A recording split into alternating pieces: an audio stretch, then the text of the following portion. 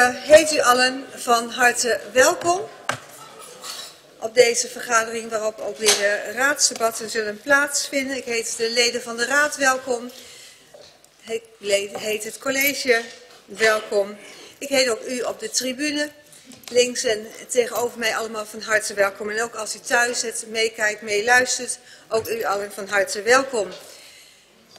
Wij hebben vanavond drie agendapunten. Het agendapunt 8 is ingetrokken. Dat was het agendapunt samenwerkingsovereenkomst met de stad Münster.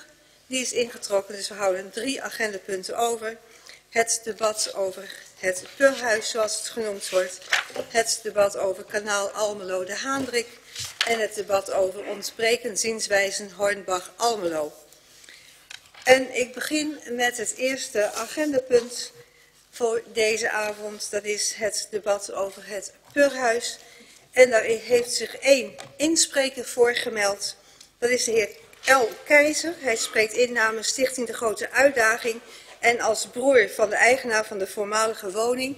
En ik vraag de heer Keizer om achter het spreekgestoelte plaats te nemen. En zoals uh, voor alle goede orde, u krijgt vijf minuten spreektijd. Het uh, wordt voor u klaargemaakt. En vervolgens uh, kunnen de aanwezige raadsleden vragen aan u stellen. En dan kunt u daarop ingaan. Dus aan u het woord, meneer Keizer. Kijken of het goed werkt. Ja. Oké, dank u voorzitter. Geachte raadsleden, ik spreek tot u als voorzitter van Stichting Grote Uitdaging, als broer van Rick en als zwager van Frederike en vooral ook als mens. Een mens met een knoop in zijn maag gezien het ingrijpen van de college sinds afgelopen 20 juli. En u als raadslid heeft de, de taak om het college te controleren op haar handelen conform de wet. Historie. In 2013 besloot Rick en Federica om een woning te laten na-isoleren met gespoten purschuim. Hier, hierop kreeg ze eenmalige subsidie vanuit de overheid, vanuit de provincie verstrekt. Een belangrijke stap naar een mooie toekomst, Hofmansweg 6. Huisje, bompje, beestje, maar het huisje werd een bouwval. Het bompje en het beestje gingen dood. De woning werd een bouw...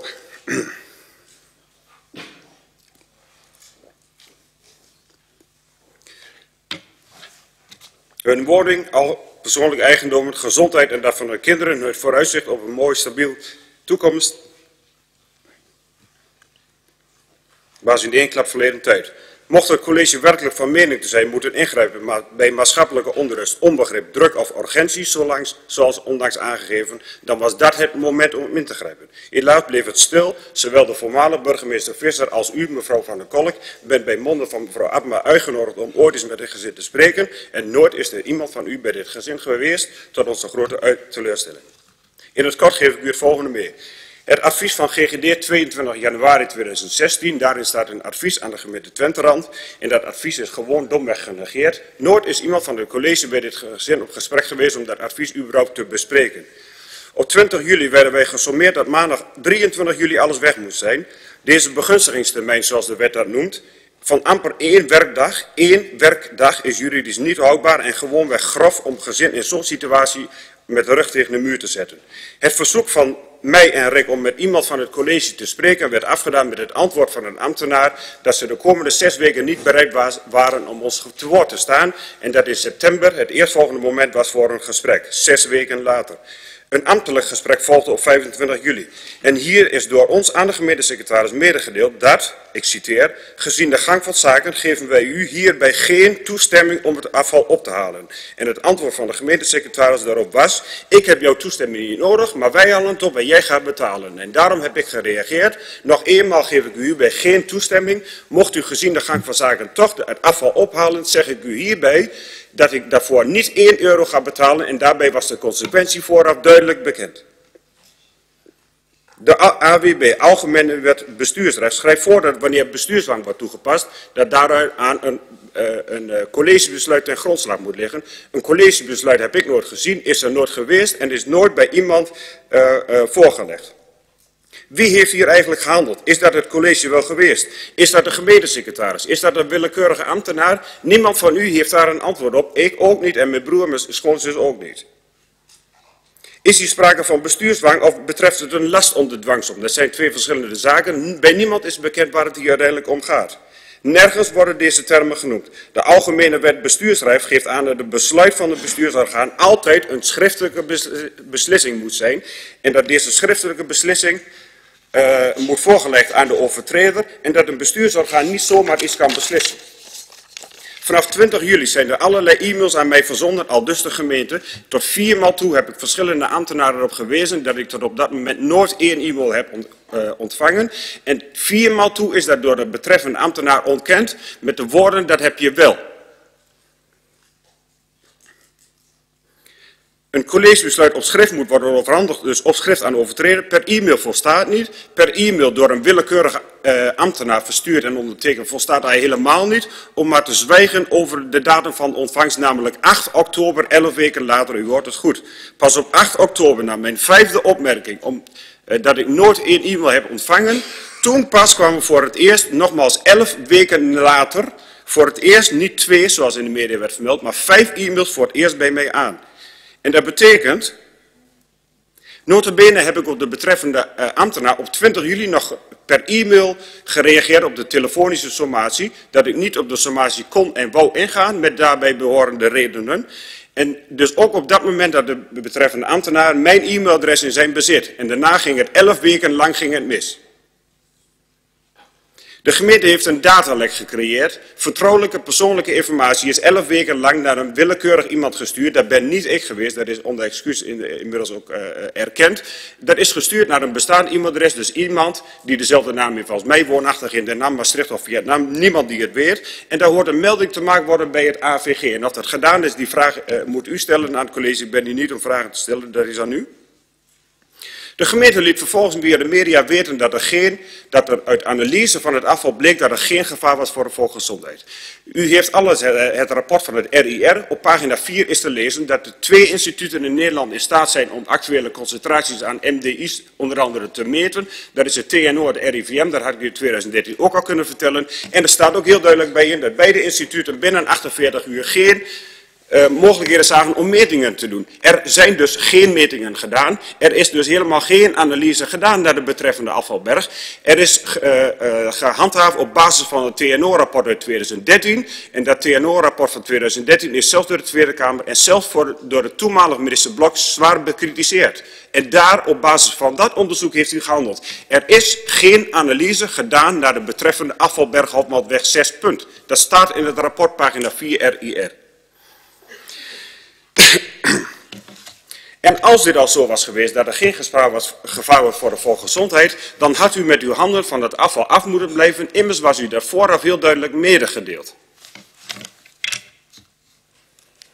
Bouw- en sloopafval zonder enig gevaar voor de volksgezondheid hoeft niet te worden gestort in een asdepot. En waarom is dit dan toch gebeurd? Tot op heden nooit een antwoord op gekomen.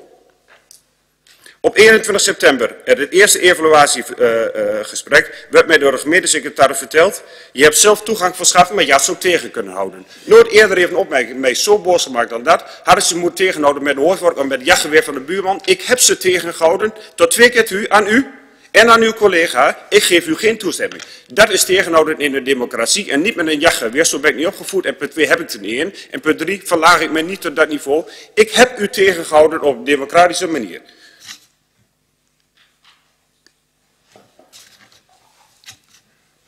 Wederom uh, is het uh, aanbod aan e-mails te sprake gekomen. Heb ik wederom aangegeven nooit een e-mail te, hebben gehad. Dat heb je wel wederom gezegd. Ik zal je vanmiddag laten zien. Maar ook die vrijdag werd het stil en ook die week erop was het stil.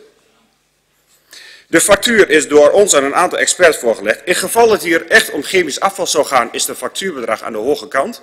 Maar gezien het feit dat de gemeente altijd volhoudt dat het hier puur om ongesorteerd bouw- en sloopafval gaat, is het factuurbedrag ronduit bespottelijk. Daarbij spreekt de gemeente dat de factuur inmiddels door de familie Keizer is ontvangen. Dat is niet waar. Ik ontvang vast een factuur als een factuur aan mij wordt gericht. Als ik als ontvanger op de factuur sta, en dat is nooit gebeurd. Voortgezet onderwijs, tweede schooljaar, economie les 8. Ondanks ons standpunt om de vooraf aangekondigde 0 euro te betalen, hebben wij toch een berekening ingediend. En wij zijn bereid om te betalen voor ons afval 9.171,20 euro. Deze handreiking is helaas niet aangenomen. Een offerte eh, achteraf nu nog laten opstellen is niet mogelijk. Het afval is weg. Er is geen analyse gedaan, dus het kan niet meer. Er zijn geen werkzaamheden meer. Dus achteraf een offerte overleggen is helaas niet mogelijk. En hoe is het überhaupt mogelijk? Hoe is het überhaupt mogelijk dat een gezin door de, door de overheid 1000 euro subsidie krijgt en vervolgens wordt opgezet met een factuur van 61.773 euro, puur alleen voor de afvoer van het bouwafval? Hoe is het mogelijk? Die vraag hoeft u hier trouwens niet te beantwoorden, maar in Den Haag gebeuren. En dat gaat binnen nu en vijf jaar gebeuren. Denk aan mijn woord. Binnen de organisatie Twenterand zijn een aantal ambtenaren actief op basis van de principes van de dictatuur, in zover een dictatuur nog principes heeft. De wet wordt genegeerd. Keizer, Ja. u, u bent al bijna een dubbele van uw spreektijd. Ik wil Oké, u ik nog- om tot een afronding te komen. Oké. De wet wordt genegeerd, betrokken bewoners worden overbluft en onder druk gezet. Echter de mensen die stand houden overwinnen, met zeer pijnlijke gevolgen voor de gemeente. Ik verwijs u naar de kwestie Oosterweilanden en Almeloseweg, dan denkt u nou een totaal andere kwestie. In de kern zijn zij hetzelfde. Het juridisch on- totaal onhoudbare gestuntel. Het totaal niet worden gehoord of geloofd. Het gedraai om de feiten heen. Het ontbreken van vastlegging op welke manier dan ook. Het provocerende taalgebruik niet richting mij, maar richting het betreffende gezin maakt me kotsmisselijk. De sfeer is verziekt. Onze stichting is in een kwaad daglicht gezet. Een situatie waar wij heel graag uit eh, willen. En om deze kracht, we- wens kracht bij te zetten, nodig ik hierbij het voltallige college uit, van harte uit, om op een door u geschikt geacht moment op bezoek te gaan bij dit gezin. En hen kennende, u wordt hartelijk ontvangen. Het is voor iedereen goed dat u niet langer spreekt over dit gezin of tegen dit gezin, maar dat u spreekt met dit gezin. Mocht na afloop van dit debat blijken dat, het college, dat u het college met een meerderheid steunt in haar handelen en een daadwerkelijke juridische procedure tegen ons gevoerd gaat worden, dan hebben wij dat te respecteren en dat respecteren wij dan ook. Het zou me wel ontzettend spijten, maar één ding staat vast. Mocht het college deze foute weg blijven bewandelen, dan wandel ik tot mijn grote spijt, maar met 100% vertrouwen in een goede uitkomst met het mee. Dank u wel. Dank u wel. Dan kijk de raad rond. Wil iemand het, een vraag stellen aan de heer Keizer? Mevrouw, aan u het woord. Ik ga Even zo helemaal rond, dus hoef je niet steeds met uw vinger omhoog. Aan u het woord. Dank u wel, voorzitter. Ehm, meneer Keizer die noemt eh, de instituten TNO en RIVM die een onderzoek hadden kunnen doen naar de, naar de staat van het eh, puin wat er is, eh, heeft gelegen. Onze vraag is of ze ook onderzoek hebben gedaan voordat ze zijn overgegaan tot slopen en wat daaruit is gekomen. Het probleem is, en nou hebben we het over het algemene Nederlandse probleem, er zijn er 300 gezinnen in vergelijkbare situaties. Kijk, dat probleem gaan we hier niet oplossen. Wij hebben, eh, de kast bij ons staat vol met onderzoeken naar de samenstelling van de PUR, met de stoffen die er zijn vrijgekomen. Alleen de uitslagen daarvan worden niet erkend. En dan komen we in het, het probleem gaan wij hier vanavond niet oplossen. Dat is het landelijke probleem waar in Den Haag al heel veel over gesteggeld wordt en, en terecht. Maar wij hebben inderdaad allerlei onderzoeken laten doen, ook medische onderzoeken.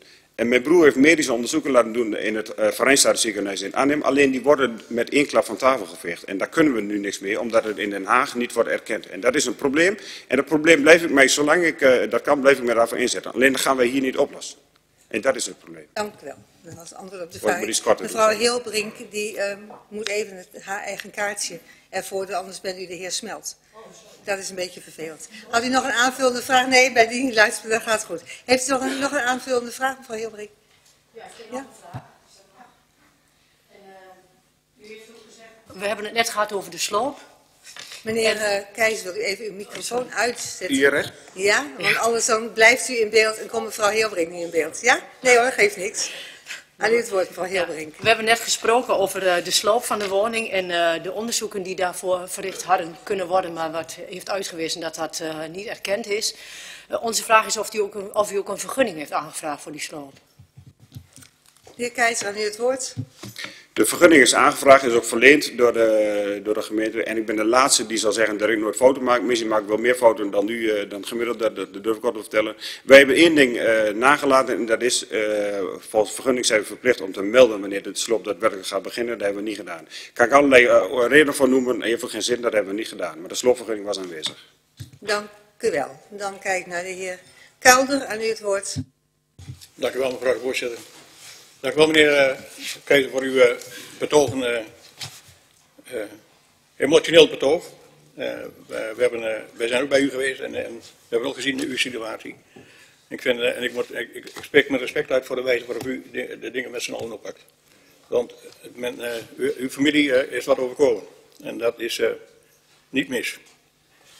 Ik, ik heb eigenlijk een, een, een, vraag die misschien aan de zijkant die verstaat. Want we gaan, we gaan straks over altijd technische dingen doen. We gaan over geld hebben en alles. Maar ik ben heel benieuwd naar hoe, hoe u als familie hier met dit, met, dit verhaal om kunt gaan. Hoe u nog gewoon in Twenterand de dingen kunt doen die u normaal zou moeten doen. Als u wilt, mag ik erop ingaan. Dit laat ik even aan u over, of u dat kunt. Aan u het woord, meneer Keizer.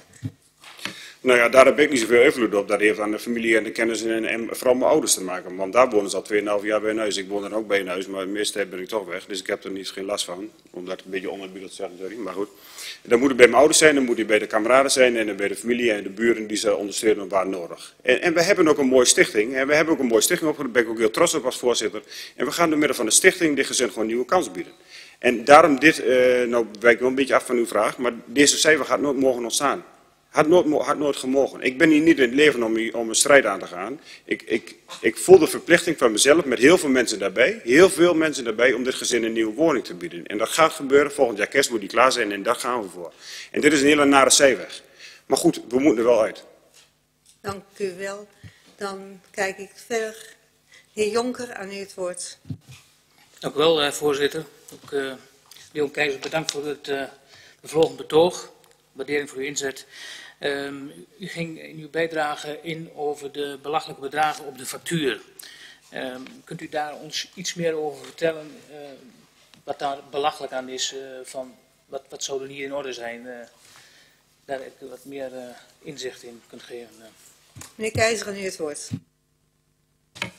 Nou, kijk, normaal gesproken als je een woning laat slopen, dan kost dat met sloop, afvoer, alles bij elkaar, dan spreek je tussen 8 en 12.000 euro. Dat is een beetje de lijn. Als je een woning sloopt, afvoer, alles noem maar op. Nou, de kosten van sloop die hebben we gemaakt. Alleen voor het afvoeren van puin, 61.700 euro betalen. Alleen voor het afvoer van puin, dat is natuurlijk belachelijk. Kijk, en ik heb een aantal keer, keren is geprobeerd om ons tegen het bedrijf Heineun op te stellen. Daar heb ik helemaal geen behoefte aan. Ik heb niks tegen Heineun. Ze hebben netjes werk geleverd bij ons. En Heineun is voor mij betreft ook helemaal geen partij. Absoluut niet. Ik gun ze het beste. Ze hebben een mooi bedrijf. Ze hebben mooi werk geleverd. Dus ik heb ook niks met Heineun. Ik heb het met de gemeente. Um, maar het is natuurlijk belachelijk dat als je, als, je, als je 1000 euro subsidie krijgt op iets wat goed is. Duurzaam, hoe duurzaam is het? Laten we ons dat eens afvragen. Dat is natuurlijk belachelijk dat je met zo'n factuur voor opgeschreven. Daar kan natuurlijk geen kant op. Dat gelooft natuurlijk niemand. Maar het is wel zo. Er was ook geen antwoord op de vraag. Nou ja, maar, nee, u gaat, ik zeg altijd als voorzitter, u gaat over uw eigen, u gaat ook, u gaat over uw eigen antwoord. Dus dat is uh, heel helder hier in uh, dit huis. Um, dat was het meneer Jonker. De heer Veldmeijer, ja, kijk even, u hoeft natuurlijk niet wat te vragen. U, aan, u het woord, meneer Veldmeijer. Nou, voorzitter, ik heb uh, niet zozeer een vraag, maar ik, wel een opmerking. Want wat het CDA net naar voren bracht, dat heb ik ook. Uh, we hebben veel contact uh, gehad met elkaar. Um, en ik heb natuurlijk ook veel vragen gesteld. En ik zag de laatste keer dat die vragen s'nachts om twee uur werden beantwoord uh, door u. En ja, dat, dat vind ik nogal. Want als je na vijf jaar nog zo strijdvaardig bent in deze kwestie. en, je, en dat heb ik ook gemerkt, toch wel heel welwillend opstelt. Dan vind ik dat een, ja, een groot compliment waard. En dat wilde ik even kwijt, voorzitter. Dank u wel. De heer Kopers, aan u het woord. Ja, dank u voorzitter. Ik, uh, ik heb ook niet echt een vraag, maar ik wil uh, Leon bedanken voor zijn inbreng en voor zijn duidelijke verhaal en zijn goede documentatie daarop. En ook de vragen die we eh, bij de woning zelf gesteld hebben zijn allemaal goed beantwoord. Ik denk ook dat deze familie blij mag zijn met zo'n woordvoerder. En ik vind dat heel goed. Dank u wel, dan heer Reusken. Dank u wel, voorzitter. Ja, ik zal niet in, in, ik sluit me aan bij uh, in ieder geval uh, de betogen van, uh, van mijn voorgangers als het gaat om de inzet die, die je gepleegd hebt. Ik heb nog één, één verduidelijke vraag. Dat gaat over het onderzoek wat gepleegd is toen het puin er nog lag. Ik, ik hoorde jou zeggen van er waren twee partijen die niet in staat waren om binnen 48 uur dat onderzoek uit te voeren. En dat er een andere partij is geweest die dat ter plekke daadwerkelijk gedaan heeft of op afstand gedaan heeft. Dat werd me niet helemaal duidelijk, want daar had je kritiek op. Kun je dat nog eens verduidelijken? Heer Keizer, aan u het woord. Nou, het is op pagina 4 van het RIR-rapport te lezen dat er twee instituten in staat zijn om dat te doen. Nou, dat is ook zo, het RIVM en TNO. Maar goed, als beide instituten aangeven binnen 48 uur daar geen, geen mogelijkheden toe te zien, dan hoor je nog een dag te wachten als je een analyse wil. Maar er is niet op gewacht. Dat is gebaseerd op een TNO-rapport van 2013, die nogmaals door de toenmalige minister zelfs is bekritiseerd. Dus er is geen analyse gedaan. En, ik heb er zelf nog om gevraagd, maar goed, er is er niet. Tenminste, niet bij mij. Dank u wel. Dat was het. Dan kijk ik naar mijn linkerkant. Ja, de heer uh, Elsinga, nu het woord. Dank u voorzitter. Ook uh, dank aan de heer Keizer. Um, ten eerste, u zegt van de prijs die, uh, die u nu moet betalen is besportelijk. U, u, had het gekund voor 9.171,20 euro. mijn vraag is, bij wie hebt u die prijs dan opgevraagd? Uh, wie was de eerste uh, afvalverwerker die u heeft benaderd? Waar is die prijs gebaseerd en hoe zag dat puin er dan uit? Uh, er zijn namelijk foto's van. Ehm, verder zegt u eh, in de tijdlijn die ik van u heb ontvangen dat u op 4 juli Hein Heun hebt benaderd. Hein Heun zegt ik ben nooit eerder benaderd dan 20 juli. Dus hoe kijkt u daar tegenaan? Tot zover even wat vragen, voorzitter. Dank u wel. De heer Keizer, aan u het woord. Toen de situatie uit de hand dreigde te lopen, dus hebben zelfs buren en kameraden uh, geprobeerd om nog een afvalwerker te, te vinden. Um, en ik hoorde hier voor het eerst dat hij nu niet nooit bij ons is geweest. Er is iemand van het bedrijf Heineur op 4 juli bij ons geweest met het loonbedrijf Janssen Heupen. En dat is gewoon een feit. Uh, klaar. En om uh, even kijken. Even eerst... vraag. Prijs. de prijs. Ja. Of, hoe, hoe, kom ik op een bedrag van 9.171 euro? Kijk, de handreiking is gedaan om nog een offerte achteraf te overleggen van het afval. En ik heb een aantal bedrijven benaderd, maar het bedrijf weet niet meer wat het over gaat. Het is weg. En als het bedrijf vraagt van, ja, waar ging het dan om? Het ging over puin met pur. Was het gevaarlijk? Ja, dan ga je dus weer, dan moet je een analyse hebben die aantoont, is het wel of niet gevaarlijk. Alleen het puin is weg en de analyse is niet gedaan. Dus een bedrijf laat zich daar niet voor lenen. Want die komt bij mij op bezoek, denkt, nou, waar gaat het over? Ja, er is niks. Er is niks meer. Oké, dank u wel. De heer Els geeft nog een aanvullende vraag aan u het woord. Ja, voorzitter, uh, dat zegt u wel, maar u noemt nu wel een prijs. En ik vroeg ook van hoe zag u de afval er dan uit? Is het alleen maar uh, stenen? Is het stenen met pur?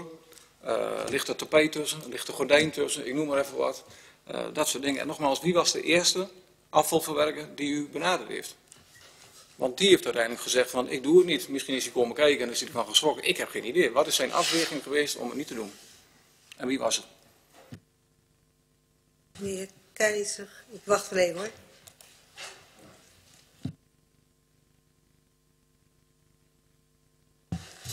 Als het goed is heeft u ook van mij een tijdlijn ontvangen vanaf 2 juli wie ik bezocht heb, van 2 tot en met 20 juli, wie ik allemaal bezocht heb. Ik wil ze wel opnoemen, maar als het goed is heeft u de tijdlijn van mij ontvangen wie ik wanneer heb bezocht heb, op welke datum. Met... Is er een ander antwoord? Sorry? Voorzitter, het gaat mij om de eerste gaat om de eerste, als u dat nog achter, kunt achterhalen. Ja, dan moet ik mijn tijd gaan opzoeken. Op 2 juli heb ik bezoek gebracht aan Puinbreken, Almelo en Hengelo. Op 3 juli aan Twens, Hengelo en recyclingbedrijf Emmen. Ik, bedoel, ik kan mijn hele, dat staat gewoon op mijn tijdlijn. Ik, ik weet niet hoeveel tijd ik heb, ik wil mijn hele tijdlijn voorlezen. Maar daar staan alle benaderde bedrijven in, met datum, tijdstip en persoon die ik gesproken heb. De heer Elzega vraagt om de eerste. Die heeft de eerste naar Puinbreken, Almelo. Nou, oké okay, voorzitter. Ja, mijn informatie is... Nee, mijn informatie is anders, maar goed. Uh, ik dacht uh, oude nieuw weer in uh, Langeveen. En daar ben ik ook geweest, maar ik zie hem alleen niet tussen staan. Dus vandaar. Daar ben ik inderdaad ook geweest, maar er was een bedrijf die is benaderd voor 2 juli. En mijn tijdlijn is begonnen op 2 juli tot en met 20 juli het ingrijpen van het college. Dank u wel. Ik ga ervan uit dat alle vragen die gesteld, die u wilde stellen, gesteld zijn, meneer Keizer. Hartelijk dank voor uw inbreng en voor de beantwoording.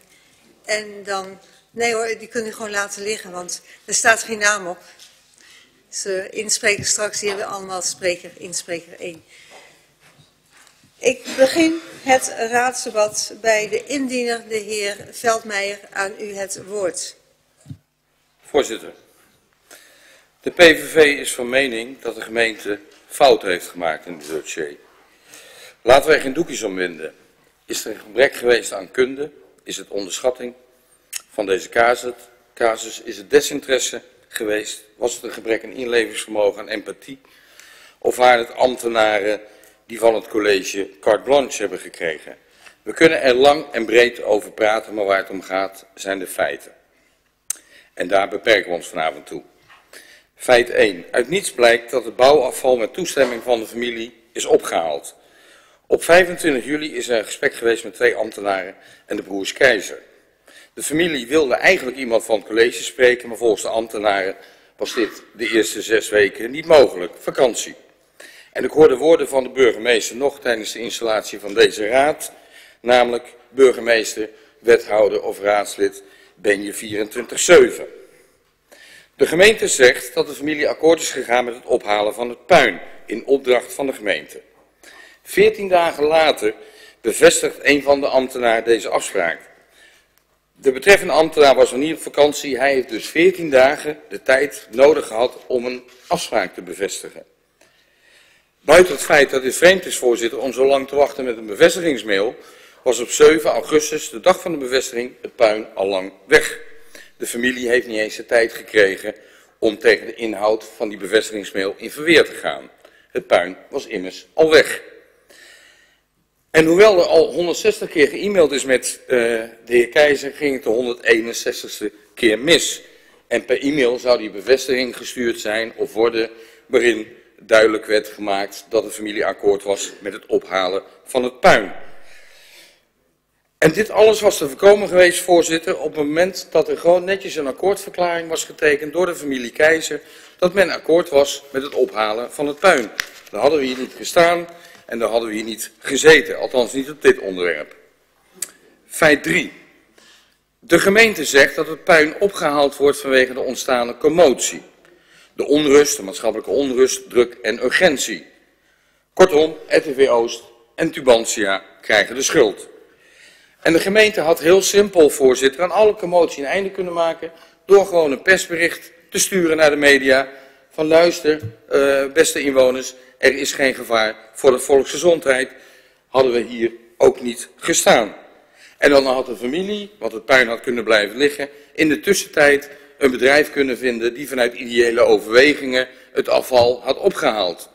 Want als je een beetje ondernemersgeest heeft, dan denk je, heel Twenterand leeft mee met deze familie. Ik haal het op voor een schappelijk prijsje. Dat is geweldige marketing. En heel Twenterand had deze ondernemer op handen gedragen.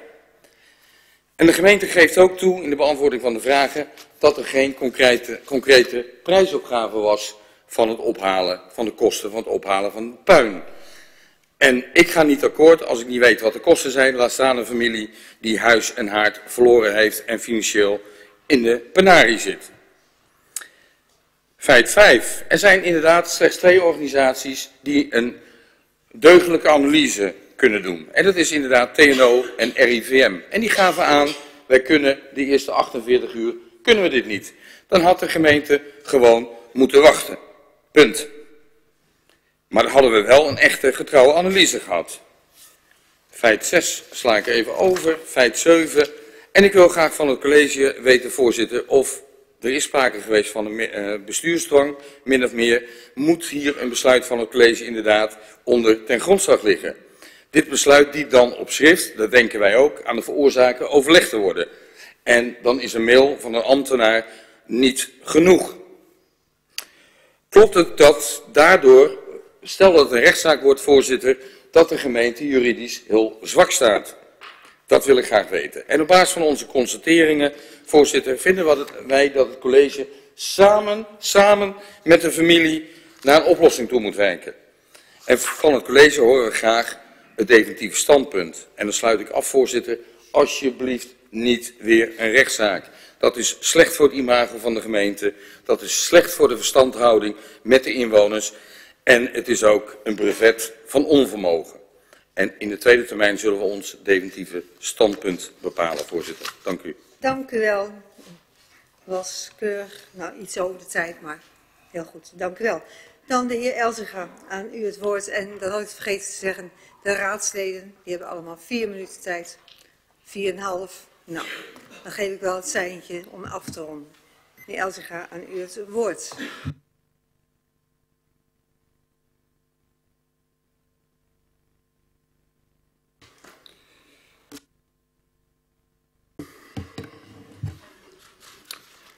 Ja, dank u voorzitter. Het mag vanzelf spreken dat GBT de hele kwestie voor de familie Keizer dramatisch vindt. En hoopt dat het onderzoek van de Nationale Gezondheidsraad straks met terugwerkende kracht alsnog iets gaat opleveren. Over één ding zijn zowel de familie Keizer als de gemeente Twenterand het eens. Dat er werk gemaakt moest worden om het ongesorteerd en niet herbruikbaar bouw- en sloopafval opgeruimd moest worden. Zo blijkt ook uit de tijdlijn van allebei. De gemeente was geen partij, zoals ook de familie van mening, maar de gemeente werd er toch als het ware ingezogen vanaf 20 juli. Met name door een niet aflatende en vrij eenzijdige berichtgeving in de media. Volgens de familie Keizer en een opgevoerde scheikundige, mevrouw Verschoor, zou het afval chemisch en giftig zijn. Risico's voor de volksgezondheid, met andere woorden. Kom op gemeente, u bent daar verantwoordelijk voor. Beroepsziektenspecialist en klinisch geneeskundige Jan Bakker vindt daarentegen een verbod van isolatiemateriaal per onzin en overtrokken. Per is zo oud als Methusalem. En nu opeens zijn er zoveel problemen.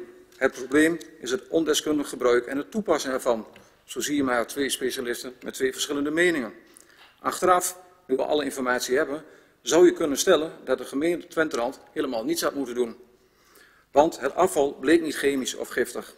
Het was wel omgesorteerd en niet recyclebaar. GBT vindt het dan ook vreemd dat als je iets stellig beweert, zoals de familie Keizer deed, niet mee wilt werken aan een onafhankelijke analyse van het afval. Want wat is dan het probleem? Niettemin, er werden gezondheidsklachten ervaren en dat leidde tot onrust in de buurt. Het was destijds snikheet, droog, bijna windstil. Maar nat houden of het afdekken van puin, zoals de GGD adviseren, bleek niet mogelijk. Stop En de even, familie kon het afval- Even stoppen, meneer Veldmeijer heeft de vraag aan u. Meneer Veldmeijer, aan u het woord. Dank u wel, eh, voorzitter. Eh, ja, de heer Elzinga zegt dat de familie niet mee wilde werken aan analyse. Eh, Maar moet dat niet zijn aan een, niet aan een niet deugdelijke analyse? Ik denk als het TNO en het RIVM voor de deur had gestaan en men had die informatie dat dat de twee enige organisaties zijn die een goede analyse kunnen maken, een betrouwbare analyse van die MDI, dan denk ik dat ze ja hebben gezegd. Deelt u die mening? Meneer Elsegaard, aan u het woord. Uh, voorzitter, nee, ik uh, deel die mening niet, omdat op dat moment, toen de familie gevraagd wordt om een analyse te do doen, was nog niet eens bekend uh, welke bedrijven benaderd zouden worden. Dat was pas na die tijd bekend. Dus niet voor die tijd. Ze hadden dat zelf namelijk ook uit kunnen zoeken, de TNO. Uiteindelijk is het puin, het afval wat er ligt, is van hun en niet van de gemeente. Meneer Elsegaard, vervolgens een betoog. Ja, heeft u een aanvullende vraag? Want ik wil wel proberen om de betogen in één keer te laten plaatsvinden. Dan, u mag een aanvullende vraag stellen. Nou, ik wil nog een opmerking maken, voorzitter, over het feit dat de heer Elzinga zei dat uh, de gemeente erin gezogen werd, uh, ook uh, mede door de publiciteit. Um, ik kan me heel goed herinneren, als je als, of, of, voorstellen als je als inwoner op een gegeven moment ten einde raad bent en, en, niet meer weet hoe je het op moet lossen, dat, dat je uiteindelijk, en dat gebeurt heel veel, de media op gaat zoeken. Bovendien was er een stichting tot stand gekomen uh, die is afhankelijk van giften. Nou, Meneer ja. ik ga een vraag stellen aan de heer Elzega om niet een Ja. betoog te houden wat hij misschien overgeslagen heeft. Dus uh, dan wil ik toch even het accent En op het moment dat je media Een vraag aan de heer Elzega. ja, op het moment dat je eh, media aandacht genereert, is dat, eh, komt dat ten gunste van eh, de donaties. Bent u het daarmee eens? Uh, dat ligt eraan op welke wijze dat plaatsvindt.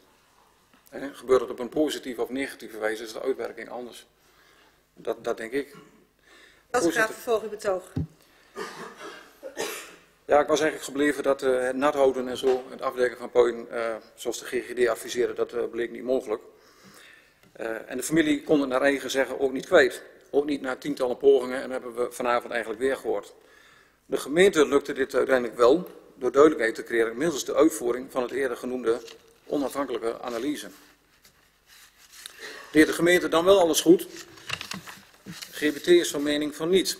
Want de gemeente bleek al veel langer betrokken in het verhaal dan alleen sinds de sloopmelding van 14 maart eerder dit jaar. Uit een gesprek van de familie Keizer bleek dat er al sinds 2015 contact is geweest met onze voormalige burgemeester. Het was een noodroep om advies met de zorg bij te ervaren en om hulp en tips. Maar van enige advisering, hulp of empathie was toen geen sprake. Ook het versturen van een e-mail naar een foutief adres is slordig. Maar ik moet nog de eerste persoon tegenkomen op deze aardbol die geen fout heeft gemaakt.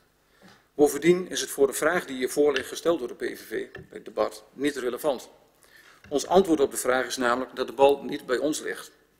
En helemaal niet als dit leidt tot welke vorm van de rechtsgang dan ook. Daarnaast ligt de presidentwerking op de loer. Vanavond al, kijk maar naar het volgende onderwerp op de agenda.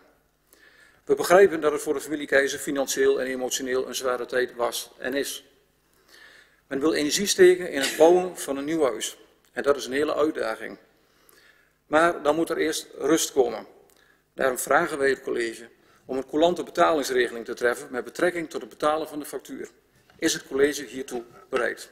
Tot zover, voorzitter. Dank u wel. Dan geef ik het woord aan de ChristenUnie, mevrouw Hilbrink. Aan u het woord.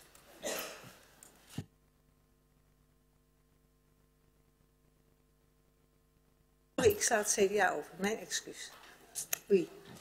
Nee, geen probleem. Gelukkig. Hè? Dames, ga voor. Gelukkig. Ik zie op eens nu ik... Uh, ja, soms sla ik wat over. Excuus, excuus. Ah, maar u, u let allemaal goed op. Als u helemaal niet aan de beurt kwam, was het helemaal mis, hè? Mevrouw Hilbrink, aan u het woord en dan de heer Kuilder van het CDA. Aan u het woord. Dank u wel, voorzitter.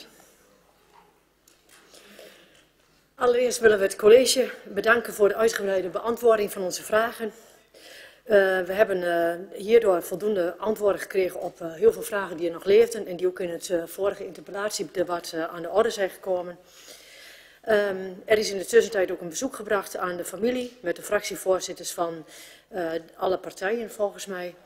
En alle vragen die er toen nog waren zijn nu inmiddels beantwoord en we zitten, zijn nu in ieder geval allemaal op de hoogte van dezelfde feiten. Ook de toelichting die meneer Keijzen zojuist nog heeft gegeven, is daarvan een onderstreping. En we zijn blij dat we dat in ieder geval als basis hebben, zodat we ook weten waar we het over hebben. Het is een kwestie die heel vervelend is voor deze familie.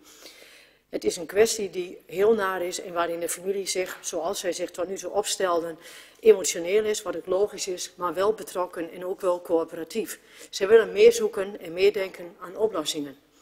Het lijkt erop dat ze daarin niet gehoord zijn. Dat is althans wat ze nu naar voren brengen en dat betreuren wij. Wij willen in dit debat in ieder geval de feiten benoemen op basis waarvan we ons besluit nemen. Want het besluit dat staat, dat staat op het feit dat we moeten beslissen of het puinafval bij, voor rekening van de familie komt of dat de gemeente daarvoor verantwoordelijk is.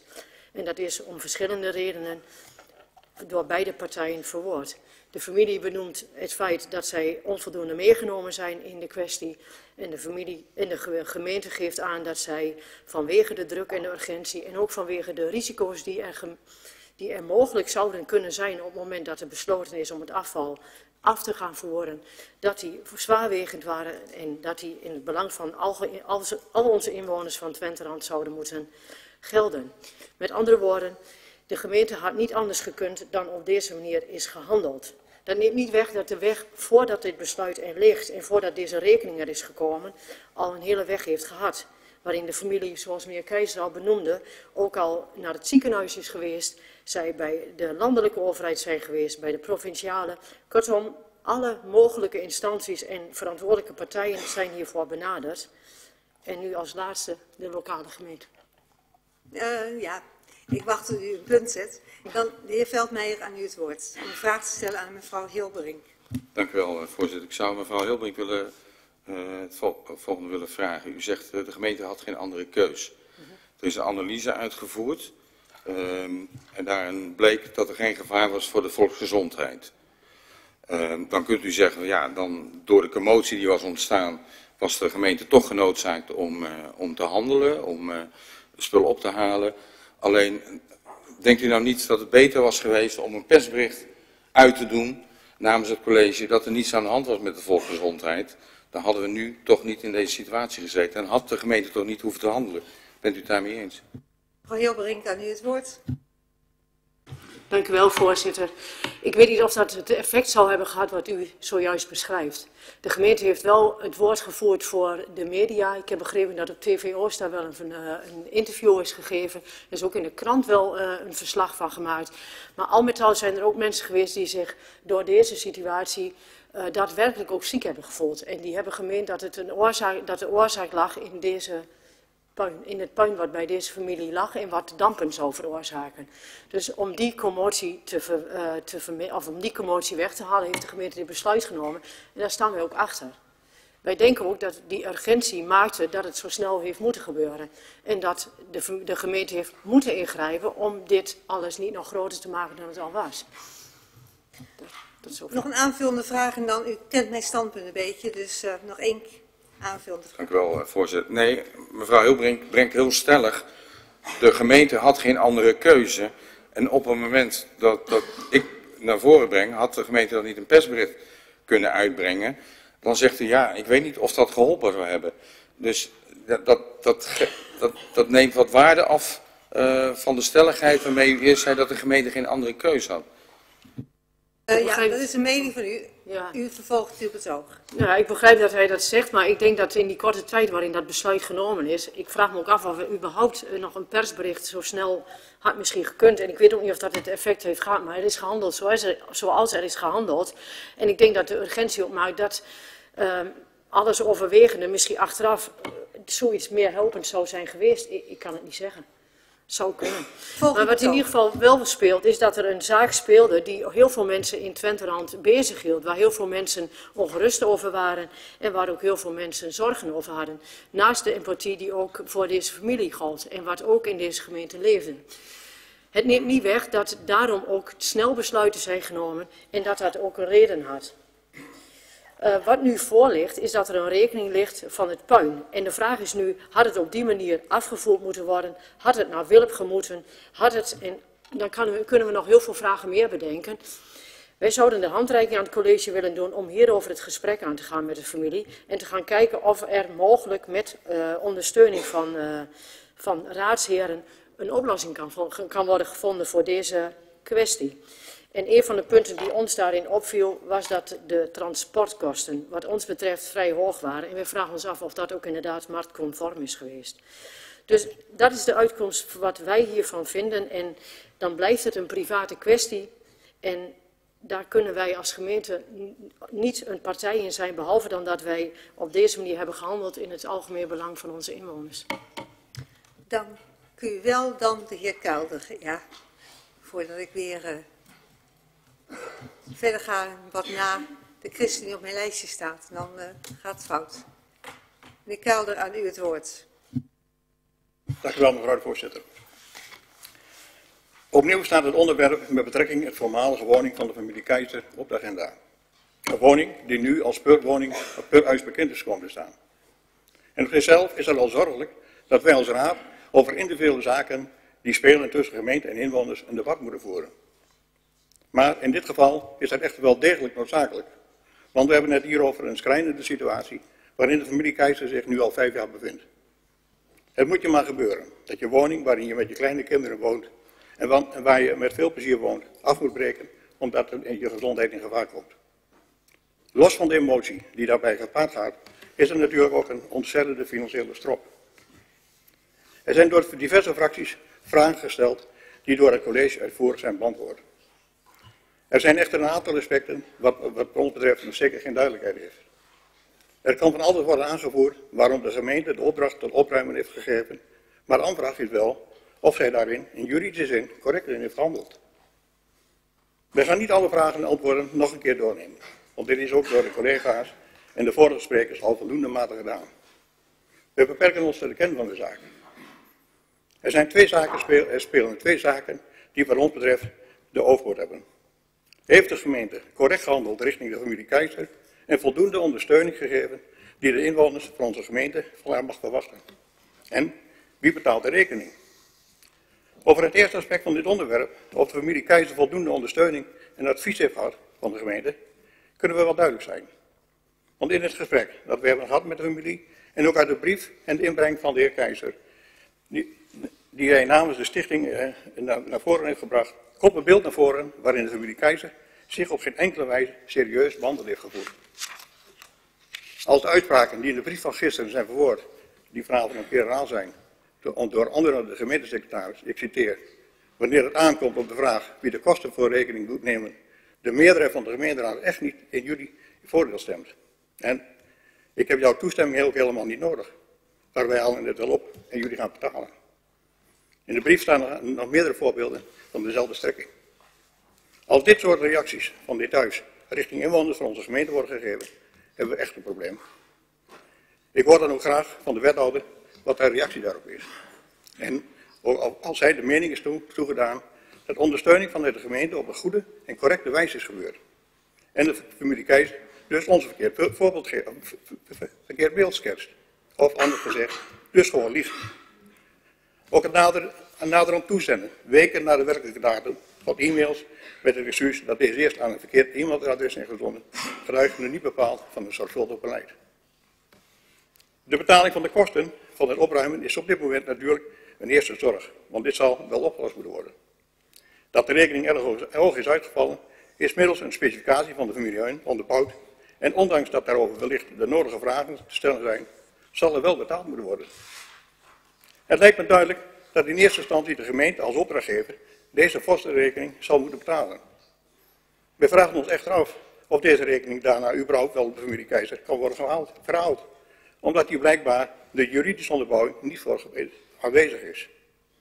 Geen collegebesluit, aangevoerde argumenten zoals maatschappelijke onrust, druk en urgentie, die volgens ons niet echt steekhoudend zijn.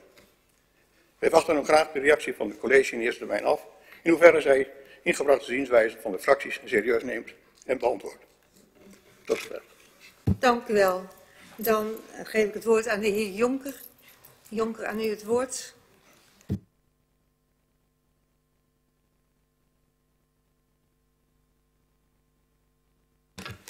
Dank u wel, eh, voorzitter. Het is een uh, ongemakkelijk debat vanavond, in de eerste plaats voor de familie Keizer. En ik kan me ook niet voorstellen dat de wethouder zich gemakkelijk voelt bij een dergelijk debat. Een debat met alleen verliezers. Het gaat om een zaak die compleet geëscaleerd is. Waarbij het lijkt dat twee partijen elkaar niet verstaan en nog begrijpen. En daar begint het toch mee. Begrip voor elkaar. Daar geldt twee kanten op. Begrip en erkenning met wederzijds respect. Het gaat hier om een private kwestie en dat ontkent de familie Keizer ook niet. Het begon van de familie Keizer allemaal in 2013. Drie jaar later zijn ze dakloos geworden en dan past hoe dan ook betrokkenheid en medeleven. Met de contacten met de gemeente over het weer gaat het mis. Een circus van welles en nietes.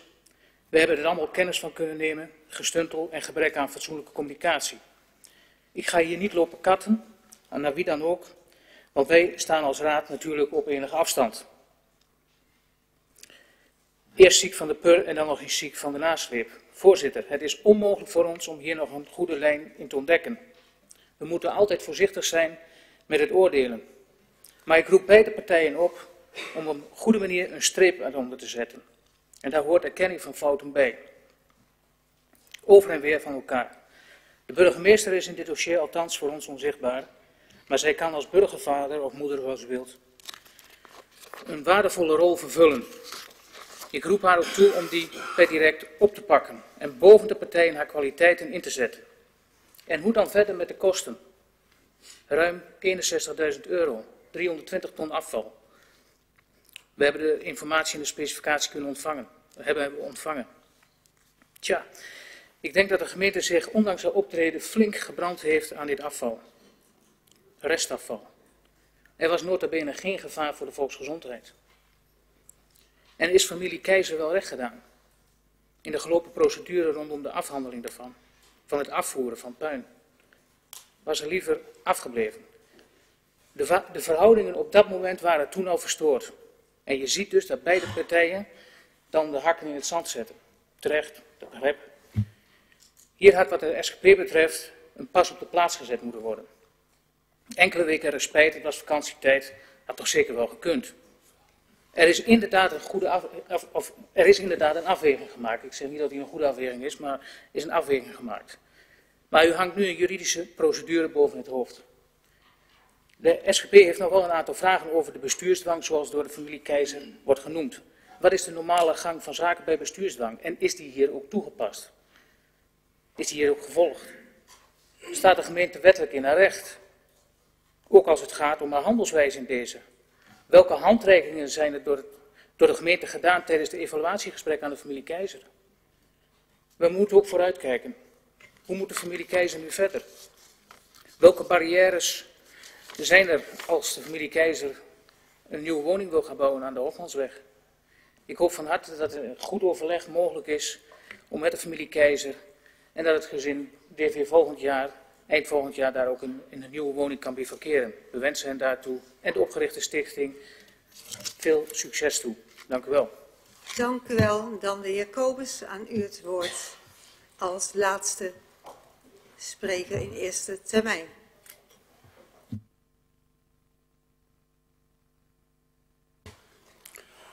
Dank u wel, voorzitter. Allereerst dank voor de beantwoording van alle vragen. De VVD heeft hier kennis van genomen en ik moet zeggen dat dit dossier nu al wel heel complex is geworden. Zo complex dat het uit gaat lopen op een juridische procedure. Het is ons ook duidelijk dat de aannemer die dit pur heeft aangebracht niet meer in beeld is. Wel is het vreemd dat in dit land blijkbaar verzekeraars zich hier dan ook uit kunnen vormen op de een of andere manier. Het is ons duidelijk geworden dat de gemeente en de familie op dit moment lijnrecht tegenover elkaar staan. En dat terwijl deze familie dusdanig in de problemen is geraakt dat zij zelf niet wisten hoe ermee om te gaan en daarvoor bij de gemeente om, om hulp of in ieder geval om goed advies kwamen vragen. De VVD is van mening dat een gemeente dan een luisterend oor moet bieden en samen met gedupeerden moet kijken waar eventueel hulp is te bieden. Dit had bijvoorbeeld in, het geval, uh, in dit geval vervangende woonruimte kunnen zijn. Ook de mogelijkheid voor het zetten van tijdelijke woonunits is een belet. Al met al een padstelling waar deze familie telkens het deksel op de neus heeft gekregen. Dit is geen voorbeeld van hoe je met inwoners omgaat. Dit geval kent alleen maar verliezers. Ondertussen heeft de familie gekozen voor een nieuwe weg naar een nieuw begin om deze onverkwikkelijke situatie achter zich te kunnen laten. Met de oprichting van een stichting met een veelzeggende naam De Grote Uitdaging gaan ze proberen om een nieuw bestaan op te bouwen. Veel energie van vrijwilligers en giften van velen zou dit nieuwe begin mogelijk moeten maken. En nu zitten we met de rekening van die puinhoop. Als we alle stukken bekijken, krijgen we bij elk antwoord weer een nieuwe vraag. Wat schieten we daarmee op? We zien ook geen mogelijkheden voor toenadering van beide kanten om dit tot een goed einde te brengen. Wat kunnen wij hier nog voor goeds uit voortbrengen? Als deze rekening bij de familie komt, is de pot van de stichting omgezet van groene cijfers in rode. Weer een streep door een toekomstbeeld. Het opruimen van het puin wordt omgeven door schimmigheid. Was het nu werkelijk wel zo nodig om dit zo snel op te ruimen? Onrust bij de buurt is het argument. Dat vinden wij niet valide. Als er een rapport ligt waarin staat dat dit niet gevaarlijk was, en dat ligt er, dan had met juiste voorlichting aan de buren de angst voor gevaar weggenomen kunnen worden dan had Keizer in de gelegenheid kunnen worden gesteld dit op een redelijke termijn alsnog weg te halen op verzoenlijke wijze. Dan waren ook de kosten automatisch bij de familie komen te liggen. Nu is alles geforceerd, zijn kosten onnodig opgelopen. En dat brengt ons ook nog bij de vraag of hier wel een collegebesluit aan ten grondslag ligt. Wanneer is dat genomen en is dat in notulen terug te vinden? Hoe het ook zij, in ieder geval is het zo dat uiteindelijk de opdrachtgever moet betalen. De gemeente heeft deze opdracht gegeven aan hun om dit op te ruimen, zeer tegen de zin van de familie. Wij zijn dan ook van mening dat deze rekening helaas door de gemeente zal moeten worden betaald. Of hier duidelijke afspraken met de familie over zijn, valt zeker te betwisten. Dit soort twisten horen echter volgens de VVD niet in de gemeenteraad thuis, maar zullen moeten worden voorgelegd aan een rechter. Al met al concludeert de VVD dat hier weer een slecht voorbeeld is gegeven van omgang met je burger en kent dit dossier alleen maar verliezers. Wat brengt het college terecht van de spreuk die in de oude raadzaal van Friese hing? Trekt u niet aan wat ieder zegt, maar doe wat billig is en recht. Of de spreuk uit het oude gemeentehuis van Den Ham. Wie regeert zal dienen en wie dient regeert. Wij missen hier het morele handelen van de gemeente richting haar inwoners die in een noodsituatie terecht zijn gekomen. Dat is wat anders dan ambtelijke afdoening. En uiteindelijk komt de rekening weer terecht bij alle burgers van Twenteland. Dank u wel. Dank u wel. Ik kijk naar wethouder van Abema, die namens het college zal reageren. Wethouder van Abema, aan u het woord. Ja, voorzitter, uh, dank u wel. Um, Eén moment, ik moet eventjes mijn verhaal opzoeken. Ja. Voorzitter, raadsleden, dank voor jullie verhaal. Even een korte voorgeschiedenis. Er zijn al meerdere mensen die dat gedaan hebben. Ik doe dat ook even vanuit het perspectief van het college. In 2013 heeft de eigenaar van de woning aan de Hofmansweg 6 ervoor gekozen om de woning te isoleren met pur. De onjuiste toepassing van de twee purcomponenten heeft ervoor gezorgd dat de woning beschadigd is geraakt. Er trad scheurvorming op. Bovendien voelden de bewoners zich ziek bij verblijf in de woning. En dat heeft ertoe geleid dat de familie in 2016 het huis heeft verlaten en elders is gaan wonen. Omdat de familie vond dat de gemeente een oplossing moest zoeken voor hun probleem, is er vanaf die tijd regelmatig contact geweest en zijn er ook een aantal gesprekken geweest. En de gemeente heeft steeds geprobeerd om daar waar mogelijk was mee te denken en te ondersteunen. Want wij hebben zeer wel beseft dat de familie zich in een buitengewoon lastige situatie bevond.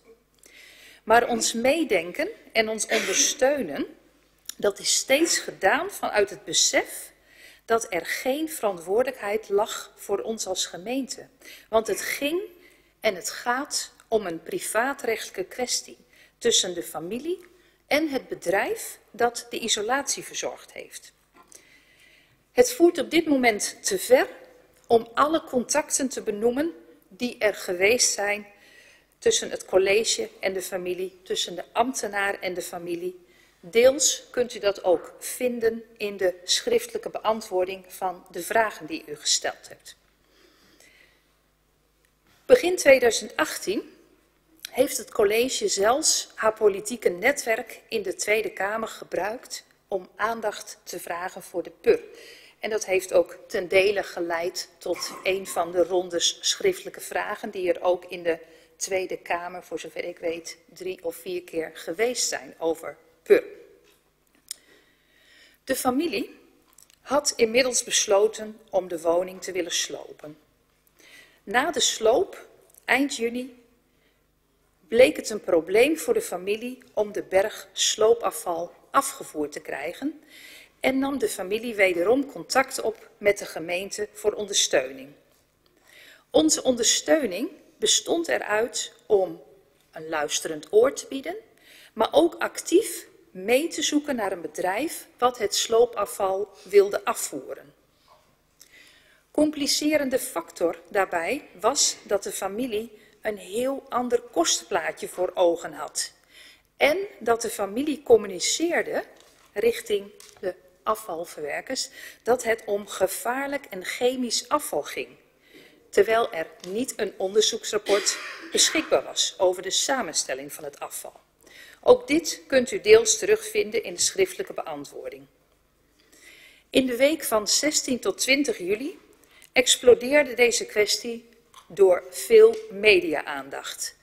En de familie deed ook zelf wederom haar verhaal en bleef communiceren dat het om gevaarlijk, ziekmakend en chemisch sloopafval zou gaan. De gemeente heeft toen wederom contact met de GGD gehad om advies, zoals ook al eerder in 2016.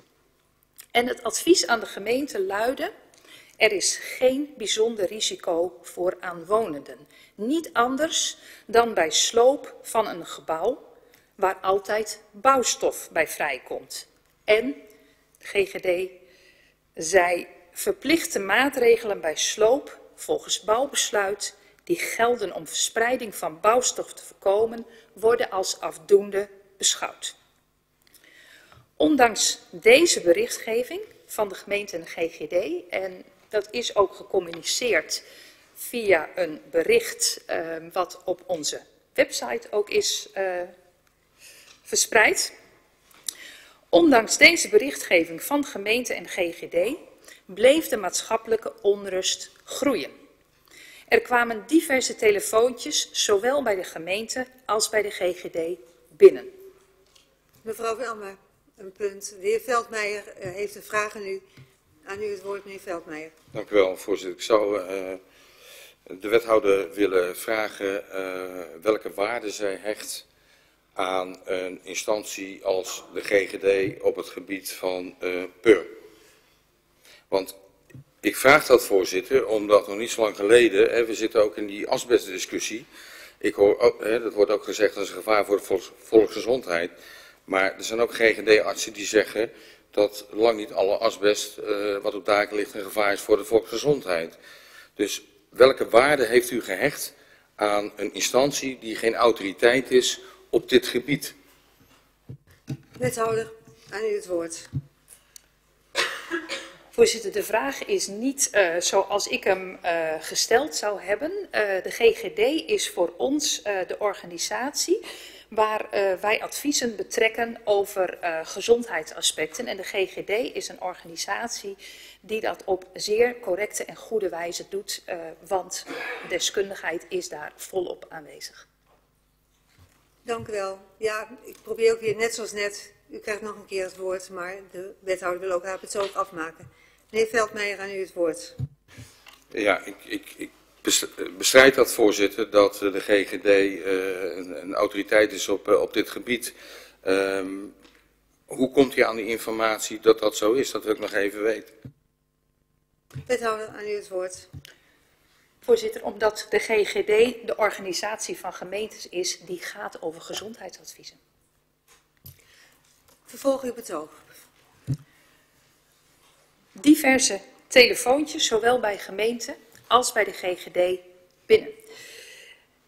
En deze onrust, gecombineerd met de onmacht van de familie om het sloopafval passend af te voeren, was voor het college voldoende reden om de familie ambtelijk te laten sommeren dat het sloopafval op korte termijn afgevoerd moest worden. En dat is gebeurd op vrijdag uh, ehm, 20 juli. Ook is de familie voorgesteld om het sloopafval te laten onderzoeken op samenstelling, omdat dit de afvoering door een bedrijf zou vergemakkelijken. Dat is gebeurd op maandag 23 juli, dat die contacten met de familie geweest zijn om um, het te laten onderzoeken. De familie heeft dit niet willen doen. Daarom heeft de gemeente de voorbereiding tot afvoer van het sloopmateriaal in gang gezet op maandag en is het sloopafval onderzocht. Een afschrift daarvan hebt u bij de stukken. In diezelfde week zijn er nog diverse contacten met de familie geweest en er is een gesprek op woensdag geweest. En in dat gesprek is afgesproken dat de familie medewerking wil verlenen en heeft de gemeente vervolgens de opdracht verstrekt aan de inzamelaar om het afval af te voeren. En na afronding daarvan op vrijdag bent u als raad geïnformeerd, vrijdag 27 juli. Er is steeds helder gecommuniceerd naar de familie dat de verantwoordelijkheid voor het afval bij de familie ligt en dat de rekening ook door de familie betaald dient te worden. Voorzitter, nog één zin. Tot slot is met de familie afgesproken dat er in september nog weer een gesprek zou volgen waarin ook afspraken gemaakt konden worden over betaling van de nota. Dit gesprek heeft inmiddels plaatsgevonden, maar heeft niet tot overeenstemming geleid. Voorzitter, dit was onze feitelijke weergave van dit dossier. Dank u wel. Dan de heer Veldmeijer heeft een vraag aan u. De heer Veldmeijer, aan u het woord. Dank u wel. Ik wil graag aan de wethouder vragen via u, voorzitter. Als er zoveel commotie is, uh, hè, wat, wat gezegd wordt in de, in de samenleving, en het gaat om zoiets cruciaals als het ophalen van eigenlijk het probleem wat daar ligt. Um, en we weten allemaal dat die e-mail uh, ja, pas op 8 oktober terecht is gekomen bij de familie. Hè? Puin is al lang weg. Waarom heeft u toen niet, om alle zekerheden in te bouwen die er zijn, in zo'n belangrijke kwestie niet gekozen? U bent akkoord met het ophalen van het puin, mag ik even uw handtekening? Dat, is dat niet bij u opgekomen of bij de ambtenaren niet opgekomen? Waarom heeft u dat niet gedaan? Want dan had u heel zeker gestaan, hadden we hier vanavond ook niet gestaan. Waarom is daar niet voor gekozen? Wethouder, aan u het woord. Voorzitter, als de heer Veldmeijer goed naar mijn verhaal geluisterd heeft en ook ik heb een aantal feiten uh, achter elkaar gezet, dan hebt u ook gehoord waarom dat niet gebeurd is. Dat zou natuurlijk de ideale situatie zijn, hè, als je daadwerkelijk zo'n akkoordverklaring had. Maar we zouden hier niet met elkaar staan als het allemaal in volledige harmonie verlopen was. Dan hadden we hier dit debat niet gevoerd. De heer Kuil, nou, nog een vraag, eh, de heer Veldmeijer. Ja, als het dan niet in, in harmonie is gebeurd, is er dan wel toestemming gegeven? Want dat... Wethouder, aan u het woord. Voorzitter, ik heb uh, gezegd, er zijn diverse contacten met de familie geweest. Ik heb ook gesproken over de onmacht van de familie om het zelf te kunnen regelen. En wij hebben ook gezien dat, uh, dat het de familie ook behoorlijk boven het hoofd gegroeid uh, is. Zeker in die weken, wat op zich ontzettend begrijpelijk is. En dat heeft er uiteindelijk toe geleid dat op woensdag de familie haar medewerking heeft toegezegd. De heer, nog een laatste vraag, meneer Veldmeijer. En dan, uh, want het is wel het betoog van hier. En ik verzoek de tribune om niet te reageren. Ik ben er heel fel op. Anders moet ik vragen of u de zaal wilt verlaten. Het college en de raad hebben hier een debat. En dat gaan we niet via de tribune nog een keer onderstrepen. A of B, dat doen we dus niet. De heer Veldmeijer, aan u het woord. Ja, voorzitter, ik trek gewoon een conclusie dat er, uh, dat is de enige conclusie dat ik uh, kan trekken, dat er geen toestemming is verleend tot het ophalen. Want anders had het zwart op wit moeten staan met een krabbel eronder. Dan de heer Kelder en daarna de heer Jonker. Eerst de heer Kelder, aan u het woord. Dank u wel, mevrouw de voorzitter. Nou, een beetje in het verlengde van de vraag van de heer Veldmeijer. Want ik hoorde wethouder zeggen, en ik heb uh, gewoon problemen, dus ik wil graag een bevestiging. Dat u zegt, de familie heeft uh, toestemming gegeven voor het ophalen. De heer Keizer, nou u zegt, uh, 25 juli heeft de familie gezegd, ze stemmen hem in. Toen was volgens mij het, het af, afval al weg. De heer Keizer heeft zowel mij persoonlijk, maar ook in de brieven, duidelijk aangegeven, vanavond heeft hij ook gezegd, wij hebben geen toestemming gegeven voor het ophalen van, van het afval. Als u nu zegt, dat heeft hij wel gedaan, dan is een van de twee partijen, zit hier, een onwaar verhaal te vertellen. En dat wil ik graag bevestigd zien. De wethouder, aan u het woord. Ik zal proberen het nog eens uit te leggen. Ik ben mij ervan bewust, uh, meneer Kelder, voorzitter ook, het gaat hier ook om woorden met elkaar. Het gaat hier ook, um, uh, u hebt ook gezien uh, dat er, met name bij de familie, ook veel emotie zit. Ik heb u net ook in de beantwoording van de heer Veldmeijer ook even uitgelegd dat dat zeker in die weken ook het geval was. Um, onze inschatting was dat het de familie behoorlijk boven het hoofd gegroeid uh, was. En dat heeft er uiteindelijk toe geleid dat op de woensdag, de, uh, woensdag 25 juli, dat de familie haar medewerking heeft toegezegd. En dat is wat anders dan dat je zegt van de familie geeft toestemming om het afval af te voeren. De, de, de familie heeft dus eigenlijk gezegd van wij werken met u mee, want wij weten het ook niet meer. Nog een aanvullende vraag, de heer Kouder. Ja, toch, want uh, ja, het gaat inderdaad over woorden. Maar uh, volgens mij is het duidelijk door de familie aangegeven dat ze geen toestemming op voorhand hebben gegeven om een afval te doen, weg te halen. Dat dat naderhand toen het feit zich voor heeft gedaan is, wie die tussen inderdaad geen kalm meer opkomt, dan, dan begrijp ik het. Maar even een aanvulling op, u, u was aan het einde van uw betoog. Ik heb ook gevraagd of het beeld... De, de wethouder was aan het eind van het betoog, maar de vraagbeantwoording komt nog. Toch? Ja, ja, daarom. De beantwoording van de vragen komen nog hoor, dus uh, vandaar. Ja, dus ik, voordat u nog een keer uw vraag uh, herhaalt, maar de beantwoording van de vragen, uh, dat komt nog. De heer Jonk heeft een vraag aan de wethouder. Ja, dank u wel. Ja, ik was ook van mening... wacht even, u heeft een verkeerd kaartje. Eventjes nog een kaartje, want anders dan, uh, bent u de heer Kelder en dat... Ja. Ik was ook van mening dat de wethouder aan het einde van het betoog was, dus de beantwoording van de vragen komen nog. Maar ik werd wel getriggerd even door de opmerking wat u net maakte. Ik heb geen belang bij woordenspelletjes. We hebben vanavond nog de inspreker gehoord die zegt, ik heb democratisch geen toestemming met woorden om het afval op te halen of het afval op te halen. Ook niet met een geweer, dat had hij ook niet. Maar dat is ons inziens klip en klaar. De wethouder aan u het woord. Er was geen toestemming van de familie. Wethouder aan u het woord. Voorzitter, dan verwijs ik toch even ook naar de opbouw van uh, mijn betoog. Het gaat hier ook in die zin niet om een situatie waarin uh, toestemming is om wel of niet wat te doen. Het ging hier om de sloop van een woning, om sloopafval, wat daar al een aantal, een paar weken had gelegen. Waarbij behoorlijk veel onrust ook was uh, ontstaan.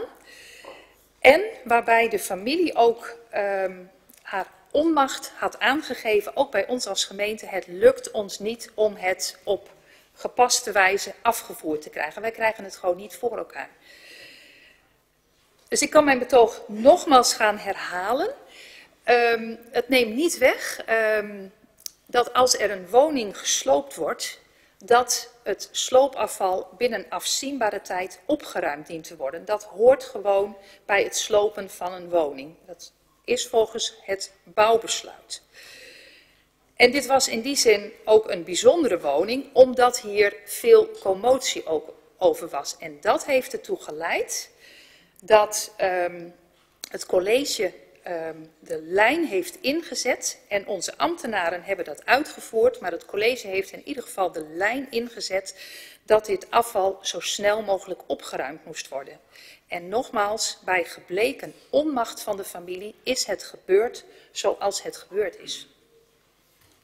U gaat nu verder met uw ja. beantwoording van de vragen gesteld door de verschillende partijen. Aan u het woord. Ja, voorzitter. Er zijn eigenlijk niet zo heel veel vragen nog overgebleven. Ik ga ervan uit dat ik in mijn betoog ook duidelijk heb gemaakt dat er geen sprake is geweest van bestuursdwang. Uh, wij hebben gehandeld conform ook uh, de, de, vereisten uh, van het bouwbesluit. Als je een woning sloopt, word je geacht het sloopafval ook op te ruimen. En als dat niet afdoende en op tijd gebeurt, dan is, zijn onze ambtenaren gerechtigd om um, de eigenaar van de woning, en in dit geval de eigenaar van het sloopafval, te sommeren om het afval op te ruimen. Dat is wat er gebeurd is.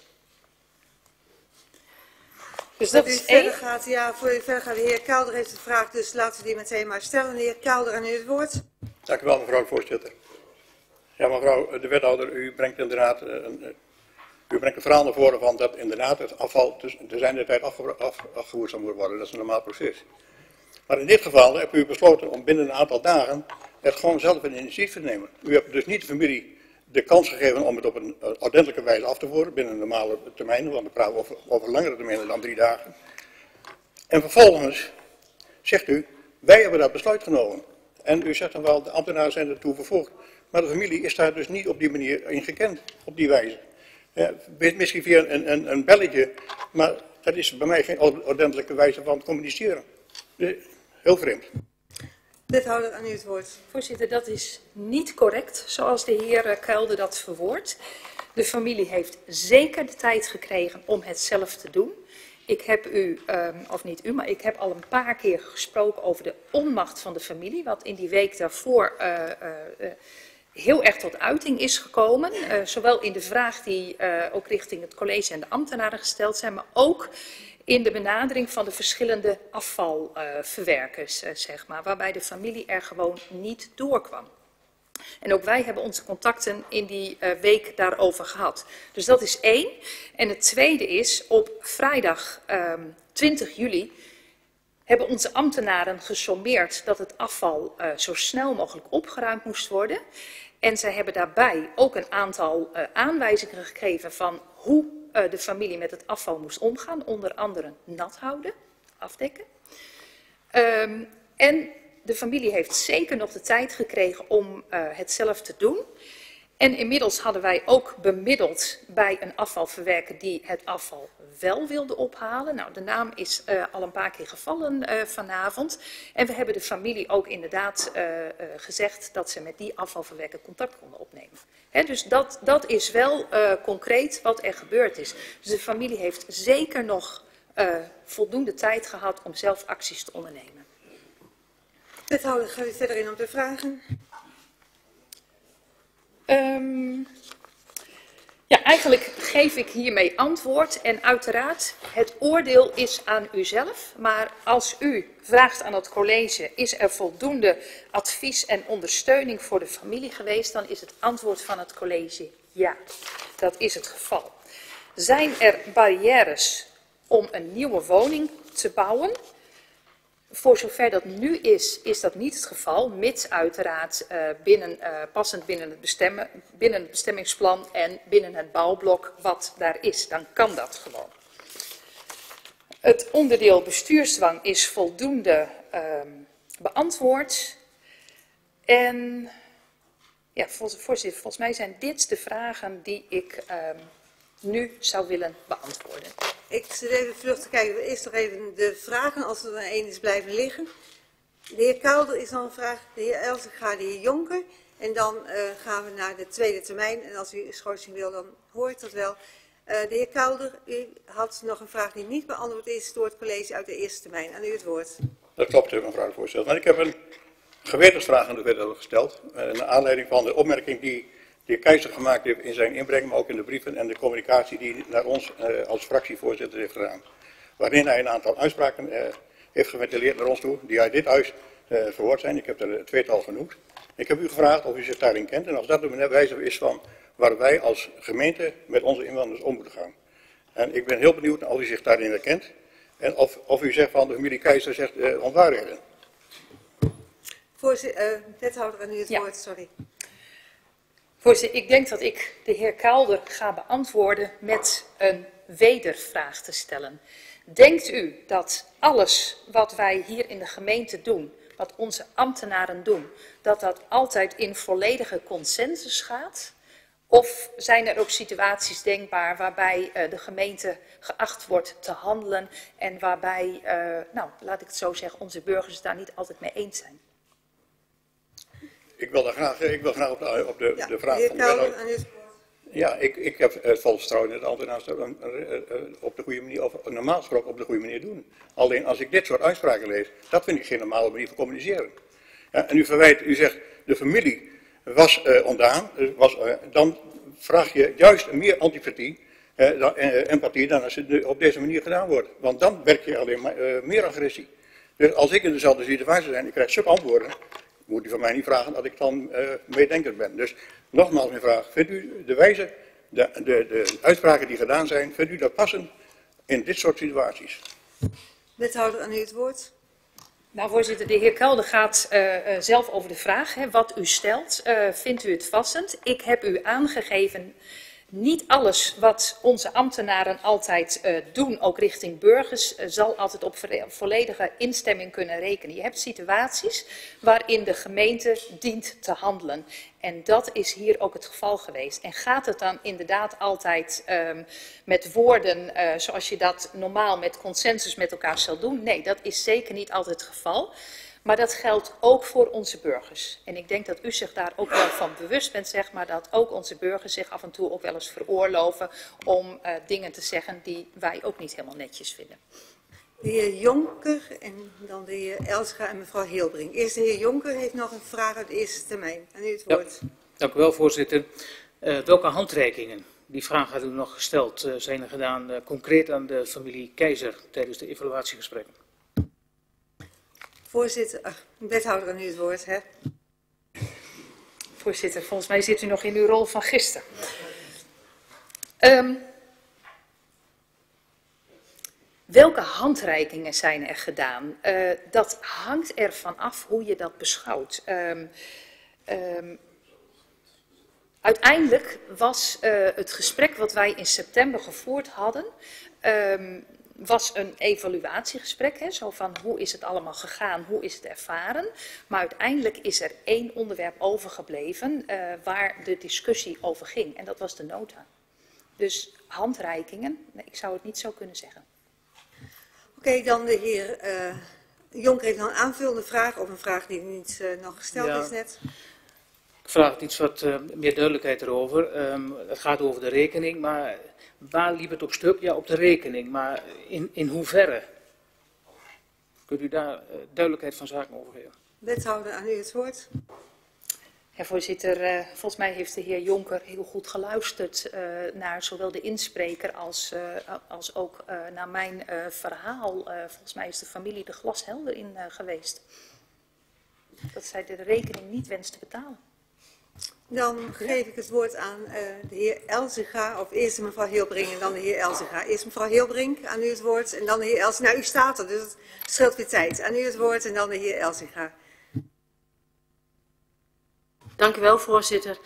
Uh, mijn vraag aan de wethouder is, en dat heb ik in het uh, betoog ook genoemd, of er nog mogelijkheden zijn om hierover in gesprek te gaan met de familie, met ondersteuning van raadsheren, mogelijk in de vorm van een mediation of whatever.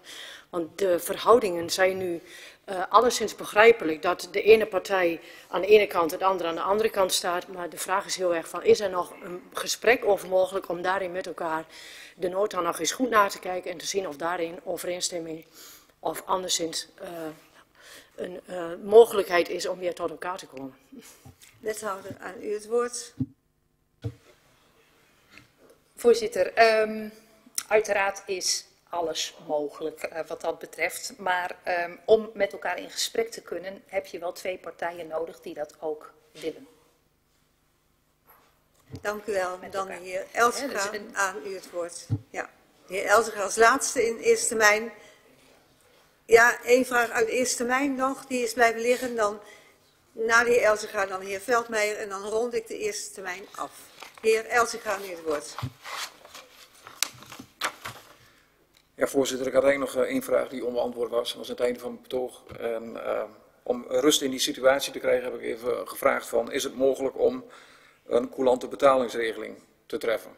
Ja, er is ook een uh, gezondheidsraad onderzoek, komt er, wie weet uh, wat eruit komt. Uh, kan aan het einde van het verhaal lucht geven, weet ik niet. Maar om daar uh, coulant met het betalen van een factuur om te gaan, is het college daartoe bereid? Dank u wel. Wethouder aan u het woord. Nou, voorzitter, dat is een hele concrete vraag. Uh, uiteraard wil het college dat in overweging nemen als de familie ons die vraag zou stellen.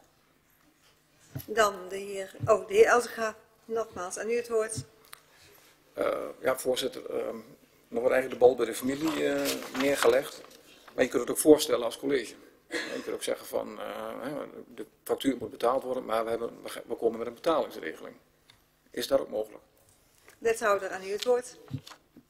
Ja, voorzitter, dan kom ik daarmee toch een beetje in de problemen. En ik hoop dat u dat begrijpt, uh, zeg maar. Uh, uh, als gemeente zetten wij veel uh, nota's en rekeningen uit. En dan zou het gek zijn, en ik hoop dat u dat begrijpt, dat wij op eigen beweging gaan zeggen van we stellen een betalingsregeling uh, voor. Normaal gesproken is degene die daar belang bij heeft, is degene die dat aangeeft. Dus dat is eigenlijk de reden van mijn antwoord. En ik, ik, ik begrijp dat u het misschien wat, wat, wat, uh, wat zakelijk vindt overkomen, maar um, dat, dat is het ook wel. Wij moeten ook als gemeente daarin wel één lijn trekken, ook naar onze andere burgers toe. Dank u wel. Dan de heer Elser heeft nog een aanvullende vraag. Ja, voorzitter, ik begrijp dat. Uh, maar het, het, het, kwam gewoon in ons op, uh, omdat ook uh, in het mailverkeer gezegd van als u een goedkopere factuur heeft, kunt het hebben over verschil hebben. Ik noem maar wat. Dat is ook een soort van toereiking, dus vandaar dat ik met deze vraag.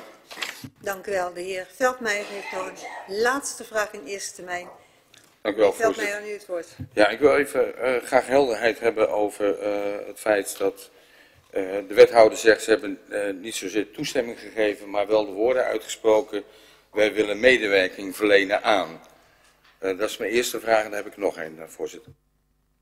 Misschien kunnen ze allebei tegelijk stellen. Ja, lijkt me handig. Want ik begreep, dat heeft u gezegd, ze hebben niet zozeer toestemming gegeven, maar ze hebben dan mogelijk gezegd, we willen medewerking verlenen aan, want het, het ons boven het hoofd. Echter, op uh, dinsdag 7 augustus, dat is de uh, 161 mail die verkeerd is gegaan, die pas in oktober na het interpellatiedebat is aangekomen, wordt er bevestigd door een ambtenaar, uh, naar aanleiding van het gesprek op 25 juli, dat er wel degelijk toestemming is verleend door de familie. Want er staat letterlijk, Rick en Leon zijn akkoord gegaan met opdrachtverstrekking door de gemeente Twenterand en hebben medewerking verleend aan de gemeente Twenterand om het afval zo spoedig mogelijk afgevoerd te zien krijgen. Mogelijk al voor het volgend weekend. Bedoelt u dit met, wij willen wel medewerking verlenen? Is dit hetzelfde of is dit een afspraak die toch verder gaat dan de woorden die u zojuist uitsprak? zij willen medewerking verlenen. Wethouder, aan u het woord. Voorzitter, ik begrijp dat de heer Veldmeijer uh, uh, wil proberen te vangen op woorden. Ik heb net ook in vragen op uw collega's heb ik dit ook in de context uitgelegd. En die context die zit hem ook in het hele traject. En dat, dat heeft ook alles te maken met de onmacht van de familie om het zelf te kunnen regelen met elkaar. En ook uh, de emotionele belasting die dat bij de familie uh, ook heeft gegeven. Waar wij zelf als gemeente zeker niet blind voor zijn. En dat heeft ook gemaakt dat wij uiteindelijk de woensdag, en ik wil het nog wel eens herhalen, met de familie tot overeenstemming zijn gekomen dat er medewerking zou zijn dat het afval afgeleverd zou worden, of afgevoerd zou worden. Dat is het verhaal. Dank u wel. Dan nou, nog een laatste vraag en dan ga ik ja. over tot. Ja, dan blijf ik toch met een heel onbehagelijk gevoel zitten. Uh, want medewerking verlenen is wat anders dan een bevestiging sturen van u betaalt de rekening. Dat is een hele andere situatie, een hele andere context. Laat ik het zo, de, wet, de wethouder geeft het aan in haar bewoordingen, in de context, zoals er gezegd is. Misschien wil ze nog een aanvulling geven, anders heeft ze het al een aantal keren geprobeerd om op een zeer zorgvuldige manier haar woorden te kiezen. Wethouder, ik weet niet of u nog een keer uw uh, betoog wil houden. Of Voorzitter, ik heb het dan gedaan. zou ik dezelfde woorden weer gebruiken. Het is niet zwart-wit daarin. Dank u wel. Um, we hebben de eerste termijn van het debat gehad. Ik kijk naar, in van de indiener, kijk naar de heer Kelder, die steekt zijn vinger op. De heer Kelder, u, u, wil wat vragen, u mag het vanaf die kant doen. Ik, Aan u het woord. Ik zou uh, graag een schorsing van minimaal 10 minuten willen. Uh, de heer Kelder vraagt een schorsing. Ik stel voor dat we om kwart over negen, geef ik u iets meer ruimte, kwart over negen weer gaan beginnen. Dus ik schors tot kwart over negen. En ik kijk even op mijn horloge, op mijn het is nu op dit moment drie minuten voor negen op mijn klokje. Dus 18 minuten schorsing. Goed, ik uh, zal proberen om iedereen weer op de plek te krijgen. Als me dat in één minuut lukt, dan kunnen we precies op tijd beginnen. Want het was net 14 over en ik had gezegd om 15 over ga ik weer uh, het debat vervolgen. Goed, voor mijn beeldvorming zijn bijna alle woordvoerders weer aanwezig. Ik mis nog de VVD-fractie en Partij van de Arbeid GroenLinks-fractie. En dan zijn alle woordvoerders aanwezig. Die komen ook. En ik geef dan als eerste de heer Kouder het woord, want hij heeft gevraagd om een schorsing. Dus aan u het woord, meneer Kouder. Dank u wel, mevrouw de voorzitter. nou, we hebben in de uh, schorsing gebruik gemaakt om even onderling te overleggen. We hebben met uh, bijna alle partijen op de tafel gezeten. GVT-fractie vond die nodig om aan te schuiven, maar goed, dat is zijn eigen keuze. Uh, wij onderkennen gewoon het verhaal dat wij als raad natuurlijk geen partij zijn in dit. Uh, het is een privaat iets, maar het gaat wel om uh, hoe gaan we met onze burgers om. We doen bij, bij deze toch nog een oproep om aan de gemeente om samen met de familie toch in ieder geval in overleg te gaan. We kijken of we daar toch een, tussenweg kunnen vinden. daarbij wil ik nog steeds toch op de wethouder oproepen om de discussie die, op de woorden die ik met haar had over hoe ga je als ambtenaar om, uh, om dat toch bespreekbaar te maken. Er zijn toch een aantal dingen geroepen die ik niet passend vind in de manier waarop je met onze burgers omgaat. En met name als je dan met burgers te doen hebt die in een ongemakkelijke situatie zitten, dan vraag je daar een andere en menselijkere benadering toe dan we nu hebben gezien. En dat, dat is toch een oproep die ik graag erbij wil doen. Dank u wel. Dan kijk ik even rond op de andere, de heer Veldmeijer, of u allemaal wel het woord voert. Dan begin ik weer bij de heer Veldmeijer, want die was ook de aanvrager in de tijd van het debat. Meneer Veldmeijer, aan u het woord. Um, ja, voorzitter. Um, ik sluit me wat dat betreft uh, aan bij uh, de woorden van mijn collega Kelder met uh, die opmerking dat als je een conflict hebt, zo ben ik ook opgevoed door mijn ouders, Um, dan moet je inderdaad uh, aan beide zijden moet je beweging zien. En die moet je, de emoties zijn natuurlijk hoog opgelopen de afgelopen jaren en zeker de afgelopen maanden. En er moet er iemand aan het roer staan die beide partijen in de juiste richting duwt. En um, voordat het een rechtszaak gaat worden, en we hebben al, ik zit nog maar kort in de raad, we hebben al wat rechtszaken gehad, en volgens mij allemaal verloren. Of ik word niet op de hoogte gesteld, maar ik vind een rechtszaak vind ik echt een buffet van onvermogen. Je moet echt eerst met elkaar om de tafel gaan zitten om te kijken of je tot een oplossing kan komen. En ik zie wat dat betreft, uh, uh, voorzitter, u, u, staat boven alle partijen. Ik zou het uh, fantastisch vinden als u die rol op u pakt om te kijken of u beide partijen tot elkaar kan komen, kan krijgen. Want ik zou het verschrikkelijk vinden als dit ook weer tot een rechtszaak moet leiden met alle negatieve publiciteit en extra kosten voor alle partijen, et cetera, et cetera. Dus ik doe graag een oproep aan u. Uh, wilt u die rol, en dat vraag ik ook aan u, aan u, wilt u die rol oppakken in deze kwestie? Dank u wel. Dan kijk ik naar de heer Elzega. Wilt u in tweede termijn het woord? Nee. Dan het CDA, voordat ik u. De heer Kelder, wil u nog in tweede termijn verder nog? Nee. Dan uh, mevrouw Heelbrink, aan u het woord. Dank u wel, voorzitter.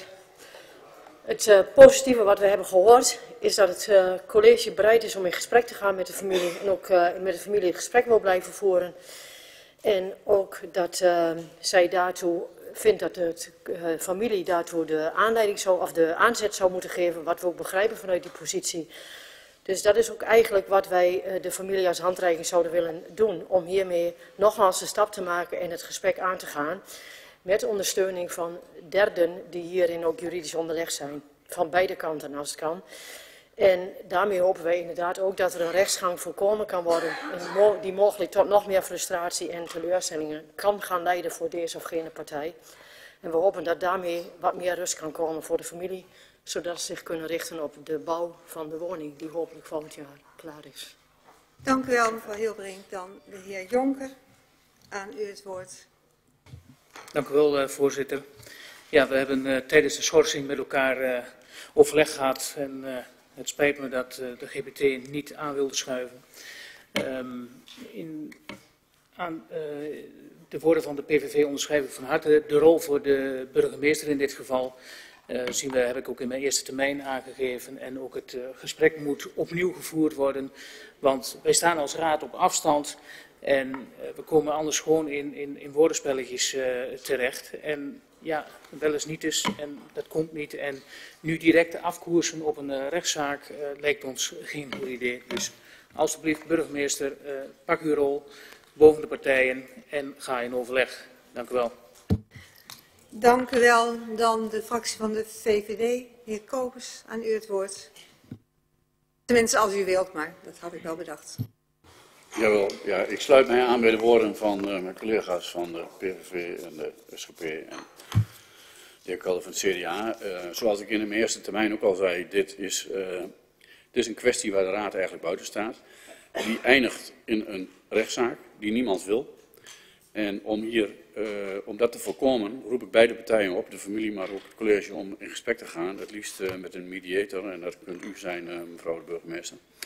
Maar um, als dit op de een of andere manier uh, opgelost kan worden aan tafel, dan denk ik dat, uh, dat er een hoop ellende wordt vermeden. Dank u wel. Dank u wel. Dan kijk ik ook naar de heer Reusken als laatste in het tweede termijn. Dank u wel, voorzitter. Uh, de Partij van Arbeid GroenLinks heeft in de eerste termijn niet, uh, niet ingesproken. En daar hadden we ook onze reden voor. Omdat we eigenlijk vinden dat dit niet een zaak is wat we hier zouden moeten bespreken in deze raad omdat het een private uh, kwestie is. Ondanks dat natuurlijk een, een, een, drama is wat hier speelt en wat voor de familie Keizer ook een groot drama is. Want dat, dat wil je niet voor je familie en dat, dat wil niemand. En daar moet ook een oplossing voor komen. En ik hoop ook dat het gaat lukken. En dat die stichting ook haar doelen gaat realiseren. Uh, in deze tweede termijn, uh, nogmaals, ik denk echt dat dit een, uh, eerst een zaak een private kwestie is.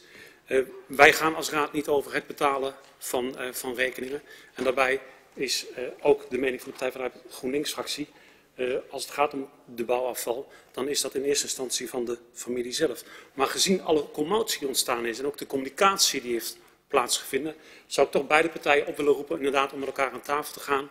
En mevrouw de voorzitter, als dat onder uw leiding kan, zou dat heel mooi zijn om te kijken of er in ieder geval met elkaar weer in gesprek gekomen, gaan, uh, of gekomen kan worden. Want dat is denk ik belangrijk om weer met elkaar uh, dat gesprek te voeren. en uiteindelijk, als het gaat om het betalen van de rekening, als het bij de rechter komt, dan, dan zal dat zo zijn en zal daar een uitspraak gedaan uh, moeten worden. Want dat is niet aan de raad. Dank u wel, voorzitter. Dank u wel, heer Reusken. Ik kijk naar wethouder van Abema. Of u het woord wil voeren of u eens een schorsing wil. U gaat het woord voeren. Namens het college zult u het woord voeren. Voorzitter, dank. Um, allereerst, uh, voorzitter, ik ga ervan uit, uh, er zijn door een aantal raadsleden uh, een paar vragen aan u gesteld. Hè. Er is bij u iets neergelegd, ik ga ervan uit dat u dat zelf ook even zult beantwoorden. Um, tenminste, ik denk dat dat wel goed zou zijn. Um, dank aan de raadsleden uh, ook voor hun tweede termijn. Ik denk dat het goed is dat we hier sowieso met elkaar het debat over gevoerd uh, hebben. Juist omdat dit een kwestie was uh, die ontzettend veel commotie teweeg heeft gebracht. Maar die ook um, heel veel um, ellende voor de familie ook betekend heeft. En dat is iets um, nou, wat we gewoon niet moeten vergeten, wat het college ook zeker niet wil vergeten. Maar het is ook goed dat we met elkaar ook vaststellen, en een aantal raadsleden doet dat ook, dat het bijzonder is dat we er hier over spreken, omdat het gaat over een private kwestie. Uiteraard wil het college in gesprek gaan. Uh, het college denkt ook dat dat goed is, uh, zoals de suggestie van mevrouw Hilberink uh, zegt om dat met ondersteuning van een onafhankelijke derde te doen. Hè, dus eigenlijk een soort arbiter. Uh, zou goed zijn, juridische ondersteuning. Het college denkt niet dat het op dit moment zinvol is om iets als mediation te doen. Daar leent het zich niet voor. Um, en rechtszaken voorkomen, dat kunnen we niet altijd. Uiteraard is ons handen als college erop gericht om daar waar mogelijk zaken in de minne te schikken. Maar ik hoop dat u ook beseft dat dat gewoon niet altijd kan. Dat de rol van de gemeente zich daar niet altijd toe verdraagt. Eén ding zou ik graag nog even recht willen zetten. Dat is uh, richting de heer Kuilder. U hebt in, zowel in uw eerste termijn als in de tweede termijn hebt u een punt gemaakt over omgaan met ambtenaren. Um, u roept ook het college op om dat bespreekbaar te maken. Uh, ik kan u aangeven, meneer Kuilder, dat dit um, bijna voortdurend ook een onderwerp van gesprek is. Professioneel handelen van onze ambtenaren. Dat is ook waar we met elkaar mee bezig zijn in deze organisatie. Dat is ons dienstverleningsconcept ook. Ik zou bijna zeggen, dat is onze core business. En ik wil u ook oproepen, daar waar u meent te moeten citeren uit uitspraken die u eenzijdig ergens gehoord hebt, dat u ook wederhoor gaat toepassen. He, dus daar waar u denkt dat uh, uh, er misschien niet goed gehandeld is, zou ik u ook willen vragen, pas ook wederhoor toe en ga ook even navragen, ik heb dit gehoord, klopt dat? En mogelijk dat er toch een andere lezing denkbaar is. De heer Kelder heeft een vraag aan u. De heer Kelder, aan u het woord.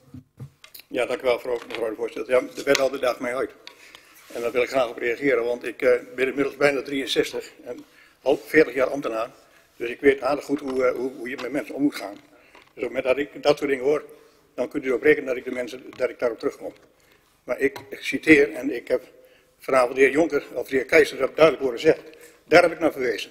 Dus ik, ga, ik verzin niet wat, ik reageer maar alleen maar op degene wat ons verteld wordt. Dus u kunt van mij aannemen, als ik iets hoor, weet ik u te vinden. Dank u wel. Dan kijken we naar de wethouder en u het woord. Voorzitter, nogmaals, als u meent te kunnen citeren uit uh, uitspraken die gedaan zijn en u citeert alleen eenzijdig, dan roep ik u op om ook wederhoor toe te passen en ook ambtelijk even na te vragen, klopt dat? Dat is wat ik u wil vragen. Heer Veldmeijer heeft een vraag aan u, wethouder. Heer Veldmeijer, aan u het woord. Ja, ik zit me af te vragen, voorzitter, doet de wethouder nu niet precies hetzelfde? Met uh, de woorden, het, ging om woorden, de interpretatie, de context. Uh, u heeft uh, blijkbaar de interpretatie, we werken wel mee, heeft u letterlijk opgevat als we betalen de rekening wel.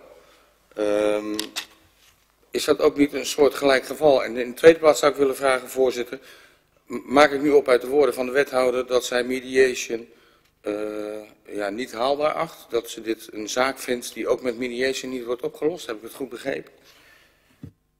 Wethouder, aan u het woord. Het antwoord op de laatste vraag is ja. En het antwoord op uw eerste vraag is nee. Dat zijn verschillende situaties. Dank u wel, wethouder. Uh, u heeft een, een, vraag bij mij neergelegd en ik hoop dat ik hier daarop in mag gaan. Of vraagt u van mij om naar het spreekgestoelte te gaan, dan ga ik kijken naar... Dan moet ik even heel vlug kijken naar een van de andere voorzitters. Maar als u zegt van het mag vanaf deze kant. Um, laat ik zo ook um, in mijn uh, functie als uh, burgemeester erop ingaan dat ik erover na wil denken of ik dat kan, of ik dat uh, op de goede manier kan doen, betrouwbaar voor iedereen. Dat vind ik wel iets waar ik me heel goed in wil verdiepen om daar een antwoord op te kunnen geven en als ik het al zou doen, ik hou heel duidelijk die slag om de arm, laat dat duidelijk zijn. En dat heeft niets te maken met het belang en uh, de roep die u naar doet. Maar ik moet natuurlijk ook ervan overtuigd zijn dat ik het op de goede manier kan doen. En ik wil dan ook erover nadenken op welke manier dat eventueel zou kunnen. En een manier zou voor iedereen natuurlijk ook acceptabel moeten zijn. Dus ik zit daar gewoon over na te denken toen u dat bij me neerlegde. Dus ik wil het zo ook... Um, aan u aangeven. En uh, als ik uh, het niet doe, dan zal ik dat ook in het presidium, laat ik dat maar zo doen. Hè, omdat het natuurlijk best wel een hele precaire situatie is. En ik wil zelf geen onderdeel worden van een debat en een onderwerp van iets waarvan ik denk van ja, dat is niet goed om als burgemeester van uw gemeente, om dat te doen, wil ik dat terugleggen dan bij het presidium, omdat ook mijn redenen A of B, ja of nee, om die daar neer te leggen. Laat ik dan zo op uh, deze vraag, het verzoek van een aantal fracties, daarop ingaan. Dan komen wij, zijn we gekomen aan het eind van dit debat. En uh, ga ik over naar het volgende onderwerp. En ook daar hebben zich uh, twee, misschien ga ik even vijf minuten schorsen. Dan kunnen de mensen die voor dit debat komen, kwamen, die kunnen zeggen van nou, we willen het volgende debat ook meemaken. Dat mag natuurlijk, hè? u bent de hele avond welkom. Anders zou ik even willen schorsen vijf minuten om uh, vervolgens de, het volgende onderwerp te pakken. Ja, als voorzitter heb ik een hele ondankbare taak. Met andere woorden, wij gaan weer verder. Ja, ik heb een hele ondankbare taak om iedereen weer op de plek te krijgen. Want we gaan van het ene debat in het andere debat. En wanneer een debat toch wel wat emoties oproept, dan is het goed om even een poosje te schorsen. Want ook het volgende onderwerp, daar zijn natuurlijk ook burgers heel nauw bij betrokken. En ook dan is het goed dat we daar ook alle aandacht voor hebben. Ook voor hun inbreng. Ook voor datgene wat zij aan de raad willen, deel, uh, de raad willen deelgenoot maken. En uh, ik geef, er zijn drie insprekers en zoals u weet krijgt elke inspreker vijf minuten de tijd. Er is aan de raad de mogelijkheid, de raadsleden, om vragen te stellen. En dan gaat de andere, het is de heer Bouma, de heer Otter en mevrouw Schonewille. En die spreken allen op persoonlijke titel. En ik wil, als eerste de heer Bouma het woord geven. Heer Bouma, aan u het woord. Daar ligt een kaartje, dat houdt u aan de linkerkant voor. Als het goed is, dan bent u inspreker 1 en dan komt het helemaal goed. Ja, en dan doet u het knopje rechts. En dan gaan we kijken wat er gebeurt. Ja, Nee, hoeft het kaartje kun je loslaten. Linker, rechterknopje, links, nee, rechts. Ja, dat is al gebeurd. Ja. Ja. Dat is wel het rechterknopje, toch? Ja, ja dat, is wel... dat is mooi, voorzitter. Links nee, we wachten even totdat... Uh... Links is daar wat hard zit, hè? Rechts. Rechterknop. Even kijken of u... Uh, u bent nog niet in beeld. Oh. Ja. U eist te veel op. Oké. Okay. Voorzitter, leden van de Raad. De provincie besloot in 2009 dat het kanaal Almelo de Haandrik opgewaardeerd moest worden voor het gebruik van schepen tot 700 ton. En deze opwaardering bestond uit het vervangen van een aantal bruggen, het uit- en intrillen van damwanden, het aanbrengen van grauwankers en het uitbaggeren van het kanaal. Eind 2011 zijn de werkzaamheden in Gedijk gestart en medio 2016 is voor het laatst gebaggerd. Hoewel de provincie voor de uitvoering bevoegd gezag is, spreek ik hierin om een appel te doen aan de zorg die de gemeente heeft voor haar inwoners. En ik kom hier later nog op terug. De uitvoering van de werkzaamheden veroorzaakte bij veel omwonenden niet alleen overlast, maar leidde bij veel tot directe schade. De overlast was zo erg dat een aantal bewoners de activiteiten stilgelegd hebben. De afwikkeling van deze schade is voor velen een tenenkrommend proces. Een aantal mensen geven na jaren, uh, een aantal mensen geven na jaren moe gestreden te zijn op en hebben geen vertrouwen meer in de provincie en helemaal niet op een goede afloop. Anderen gingen moe van het gedoe en om af te zijn van een gezeur akkoord met een bedrag dat een fractie is van de werkelijke schade. In 2016 zijn de laatste baggerwerkzaamheden uitgevoerd en nu, medio 2018, ervaren bewoners schade die gerelateerd wordt aan de effecten die de werkzaamheden aan het kanaal veroorzaakt hebben. En deze schade varieert van gemiddeld ernstig tot zeer ernstig. Het langere termijn effect van de werkzaamheden is nu zichtbaar in de vorm van scheuren, verzakkingen, lekkages en wateroverlast. En deze lijken zich versneld te verergeren en komen bij velen ineens naar voren. Feit blijft dat deze schades ontstaan zijn na de werkzaamheden. En concreet ervaren de bewoners dus twee vormen van schade. Schade die direct tijdens de werkzaamheden ontstaan en schade als negatief effect en als na-effect. En het hebben van materiële schade is altijd vervelend. Het zijn lastige en vaak langdurige procedures en leiden eerder tot frustraties dan tot tevreden oplossingen. En hier lijkt het echter te gaan om een groter probleem dan alleen specifiek de schade aan woningen. Het ziet er naar uit dat de effecten van het kanaal structureel leiden tot verdere schade. En de schade kan en moet wel hersteld worden, maar de vraag is of dit zin heeft als deze opnieuw optreedt als de bron van de oorzaak niet verholpen is. Uit een gesprek met het bedrijf van de, uh, dat de werkzaamheden uitgevoerd heeft, blijkt dat er dwars door de keilimlaag heen is gegraven tot 4 à 5 meter diep. En dit is ook uitgevoerd op punten waar damwanden niet zijn vervangen. En deze oude damwanden hebben maar een lengte van rond de 3 meter. Het bodemlichaam in de nabijheid van het kanaal lijkt dan ook te schuiven. We zien dat de dijk van het kanaal, waar de Noorderweg en de Schoolstraat op aangelegd zijn, steeds meer een karrenspoor wordt. En dit terwijl in 2015 het wegdek van de Noorderweg in zijn geheel is vernieuwd. Uiteraard moet de directe schade vergoed worden. Het is echter van hoog belang dat de bron die deze schade veroorzaakt aan woningen aangepakt wordt. We spreken, ook, we spreken vervolgens ook niet over iets kleins. Het gaat over een woning. En een woning is meer dan een bak van steen met een voordeur waar je liggend op de bank dit debat zit te bekijken. Een woning is meer dan jaren van mooie herinnering, van trappelende kindervoetjes en een schommel op zolder. Een woning is het toekomstperspectief waar een leven hard voor gewerkt is en nog steeds hard voor gewerkt moet worden. Een woning is het zekerstellen van je vrijheid. De zekerheid die mensen voor zichzelf creëren voor de oude dag. Maar ook om als het nodig is zorg te kunnen inkopen door de verkoop van je woning. En de gemeente heeft aan de provincie een onherroepelijke vergunning verleend voor de werkzaamheden. En niet in de minste plaats heeft de gemeente een zorgplicht voor haar inwoners en lijkt het de nu zichtbare effecten een inbreuk te worden op lijf en leden van deze bewoners. En daar mogen we ook wat van u van verwachten. Het coalitieakkoord spreekt de wens uit om de relatie met de inwoners te verbeteren door haar te faciliteren. En kijk, hoe mooi is dat? Dit is exact wat de bewoners graag zien. Niet optrekken met de provincie als regievoerder, met als gevolg de kans op een nog bredere en hogere muur, maar voor en met de bewoners optrekken door te faciliteren. Laat zien dat u betrokken bent bij onderwerpen en ontwikkelingen die spelen en trek hier actief met de burgers samen in op voor een beter Twenterand.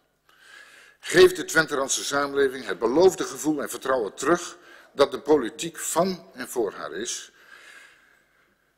Uh, leg niet de regie bij de provincie, maar bij de Twenterandse burgers, samen met de gemeente. Faciliteer de burgers en doe uw werk voor wie u hier aangesteld bent en niet door wie u gecontroleerd wordt. En ik snap dat dit lef en moed en grote cojones van u vraagt bij het nemen van dit besluit. Ik wens u daar dan ook heel veel wijsheid in.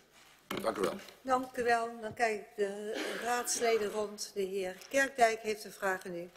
Ik ga gewoon weer het rijtje weer langs. Heer Kerkdijk, ik begin deze keer bij u. Aan u het woord.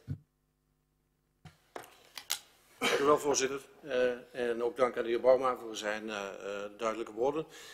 ik heb een drietal vragen. in uw betoog geeft u aan dat er sprake is van ernstige tot zeer ernstige schade. Is dat ook al te kwalificeren in euro's? Waar heb je het dan over?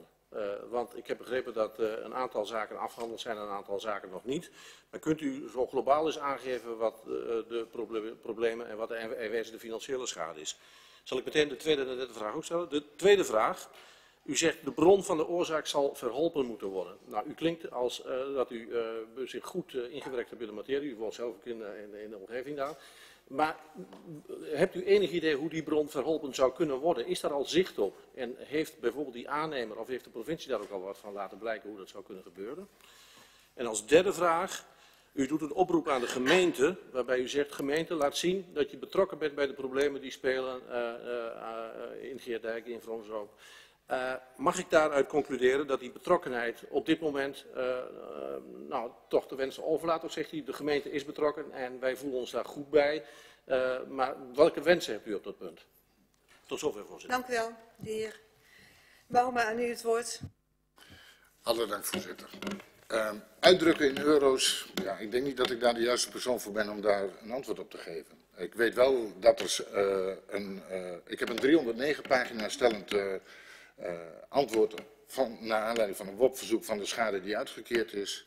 En als je kijkt wat er uitgekeerd is en wat er begroot is door de verzekering wat de schade is, zit daar een substantieel verschil in. Uh, ik heb begrepen dat de provincie ook van zins is om de bestaande schade opnieuw te gaan bekijken en of dat wel helemaal is zoals het moet zijn. Dus van daaruit zou het positief zijn. Maar waar moet je dat vertrouwen nog vandaan halen als in eerste instantie er op deze manier omgesprongen is met burgers. En dus dat was vraag 1. Uh, eh, vraag 2, een oplossing. Nou, de, de, simpelste oplossing is dempen, lijkt mij. Ja, dat is, uh, als, u, als u mij vraagt, uh, ik, ik, bedoel, ik ben geen techneut, dus ik ga ook geen moeilijke te technische dingen aan u vertellen, maar ik kan me zo voorstellen dat als ik een kruiwagen zand erin gooi, dat water eruit is. En de laatste vraag. sorry, pardon luisteren. Ah, nee. Uh, ik moet zeggen, wij uh, hebben een, uh, wij hebben een, een avond georganiseerd. En op deze avond is de gemeente ook uitgenodigd. En daar zijn ook ambtenaren van geweest. En ik moet zeggen dat dat een zeer positieve ervaren iets is. Mijn betoog gaat ook niet om het ontbreken van betrokkenheid. Maar mijn betoog gaat juist om die betrokkenheid te houden. Ik, als u geluisterd heeft en u kent het coalitieakkoord, dan weet u dat al het laatste, alle punten zijn die ook maar enigszins in het coalitieakkoord stonden. Dus uh, vandaar. Dank u wel. Dan ga ik naar de heer Jonker. Aan u het woord. Dank u wel, uh, voorzitter. Allereerst ook uh, de complimenten aan de heer Bouma. Want ik ben ook op bezoek geweest in Gedijk. En ik weet dat hij zich vuur uit de sloffen loopt. En heel veel informatie ook heeft op dit dossier. Dus wat dat betreft veel respect voor uw bijdrage als burger in dit, uh, in dit dossier. Uh, twee vragen. Uh, de gemeente, u had het over, de gemeente heeft vergunning verleend aan de provincie. Zou u dat, kunt u dat iets meer toelichten? En mijn tweede vraag uh, is in het verlengde wat de heer Kerkdijk ook al vroeg. Ehm, in hoeverre zou de gemeente moeten faciliteren? Heeft u daar ook, daar heeft u vast over nagedacht in hoeverre dat zou kunnen? Uh, waar, waar, roept u dan exact toe op? Ik, en nu het woord, meneer Bouma. Dank u wel, eh, voorzitter. Uh, eerste laatste vraag uh, over het faciliteren.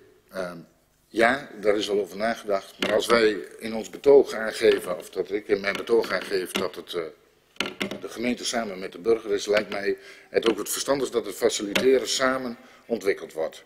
Waar het om draait is dat niet de provincie de regievoerder is, maar dat de gemeente en die burger één zijn en proberen van daaruit de problemen van die burgers op te lossen.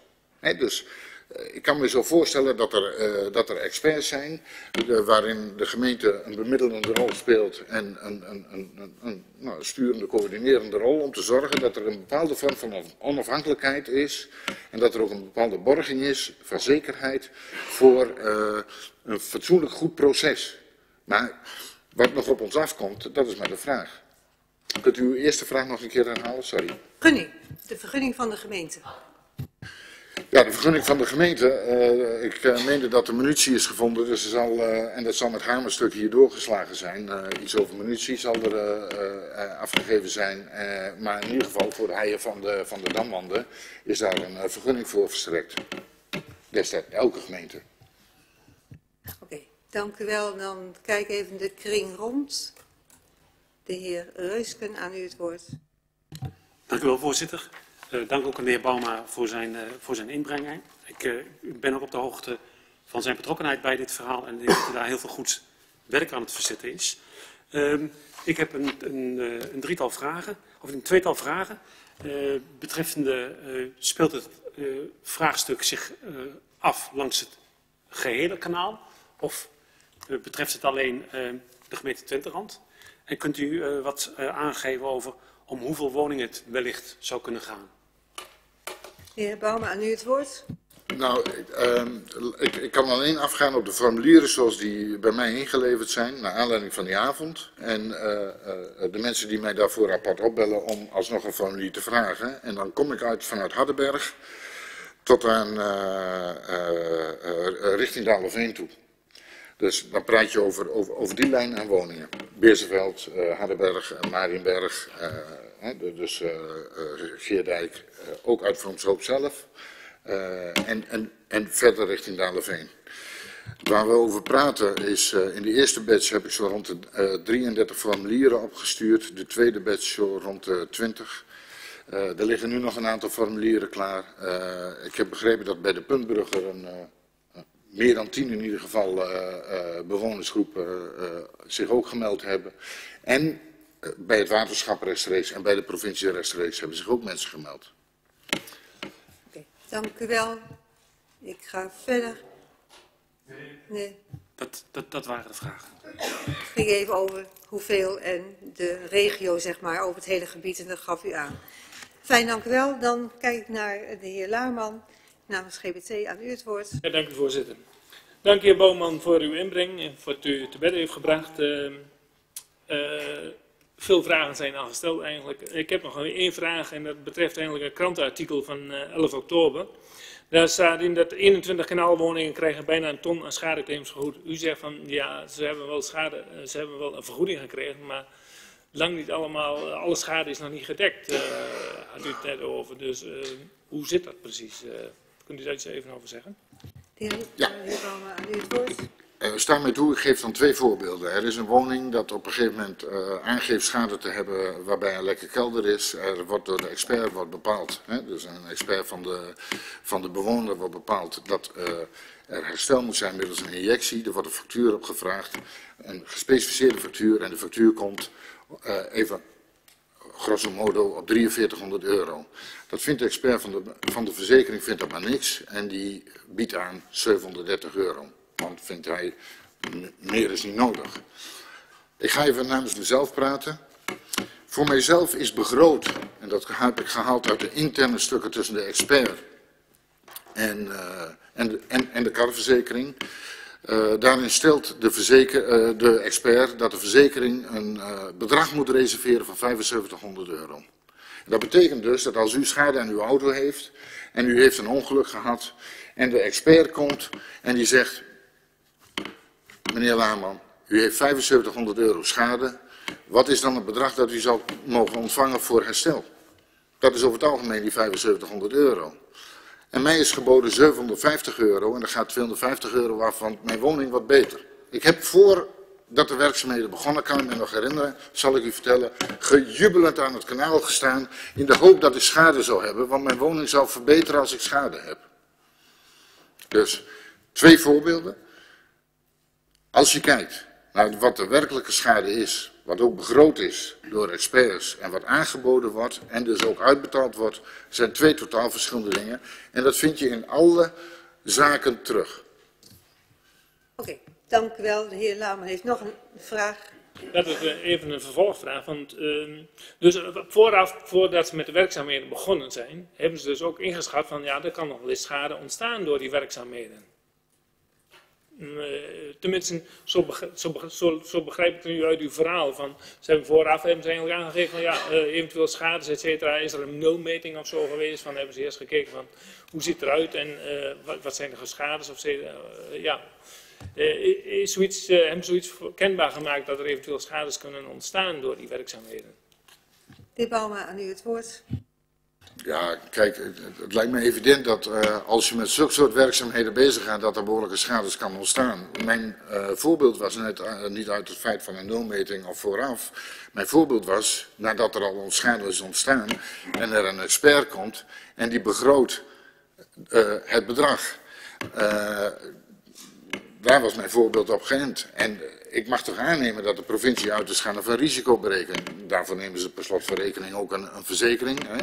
En, en, het nemen van een verzekering uh, doe je doorgaans omdat je verwacht schade te kunnen hebben. Maar niet hoopt. Oké, okay, dank u wel. Dan kijk ik nog naar de heer Huisjes. Aan u het woord. U klampt nu bij de gemeente aan en hebt u ook al bij het waterschap uh, gevraagd. Want het gaat om het probleem dat het water uit het kanaal ondergronds aan de verkeerde kant weer naar boven komt, krijg ik de indruk, en dat dat schade oplevert. In hoeverre eh, heeft u het waterschap betrokken om het water weer aan die kant te laten zakken, zodat de schade meer gaat vallen? Heer Bauma, aan u het woord.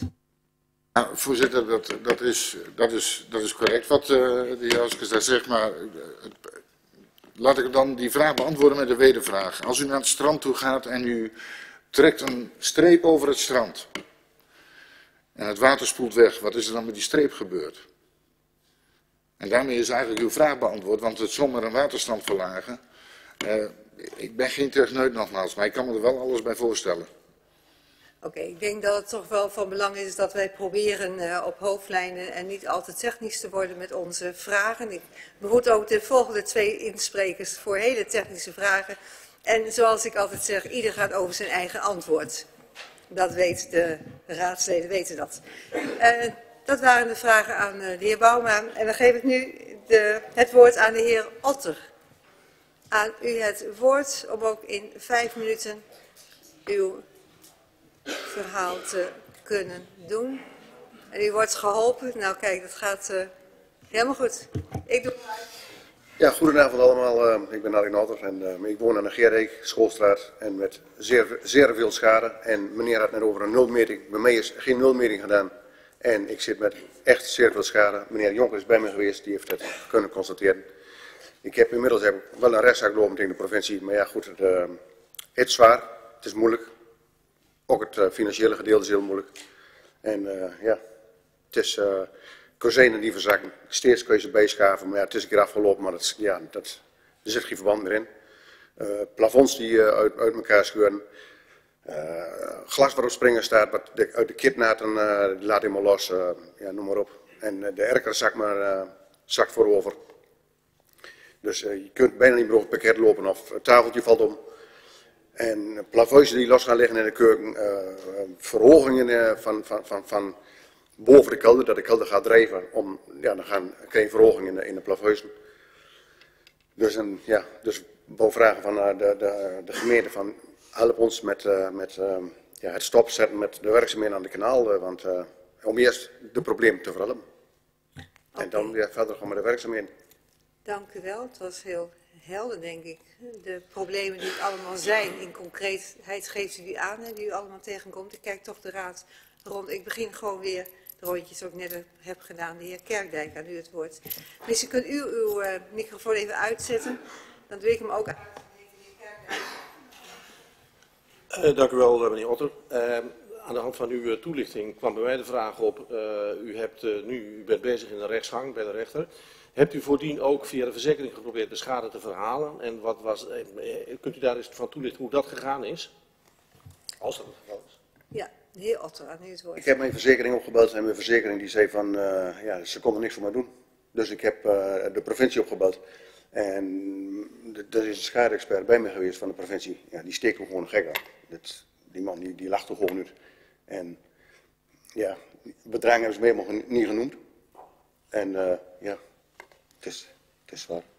Oké, dank u wel. Dan kijk even rond. De heer Jonker, de heer Veldmeijer. De heer Laarman. De heer Huis. Nou, het verhaal was helder genoeg. Oh, sorry, meneer Reusken, aan u het woord. Dank, dank u wel, voorzitter. Um, dank voor, voor, voor, voor uw inbreng.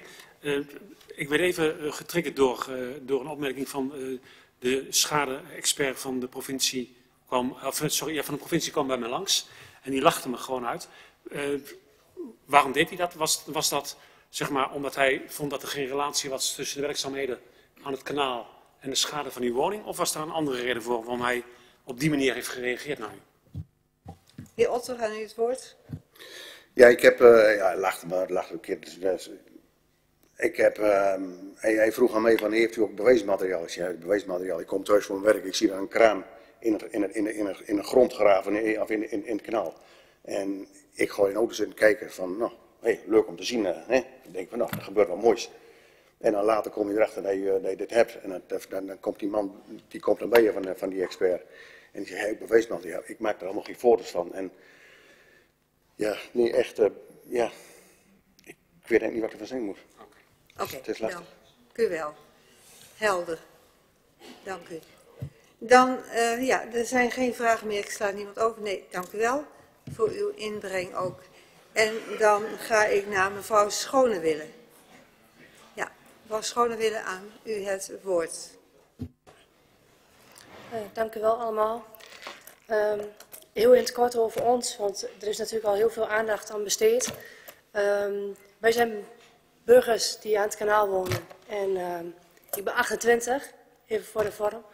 Je koopt een woning en je denkt, goh, weet je, hier ga ik mijn gezin stichten. En hier gaan we met elkaar een hele fijne toekomst tegemoet.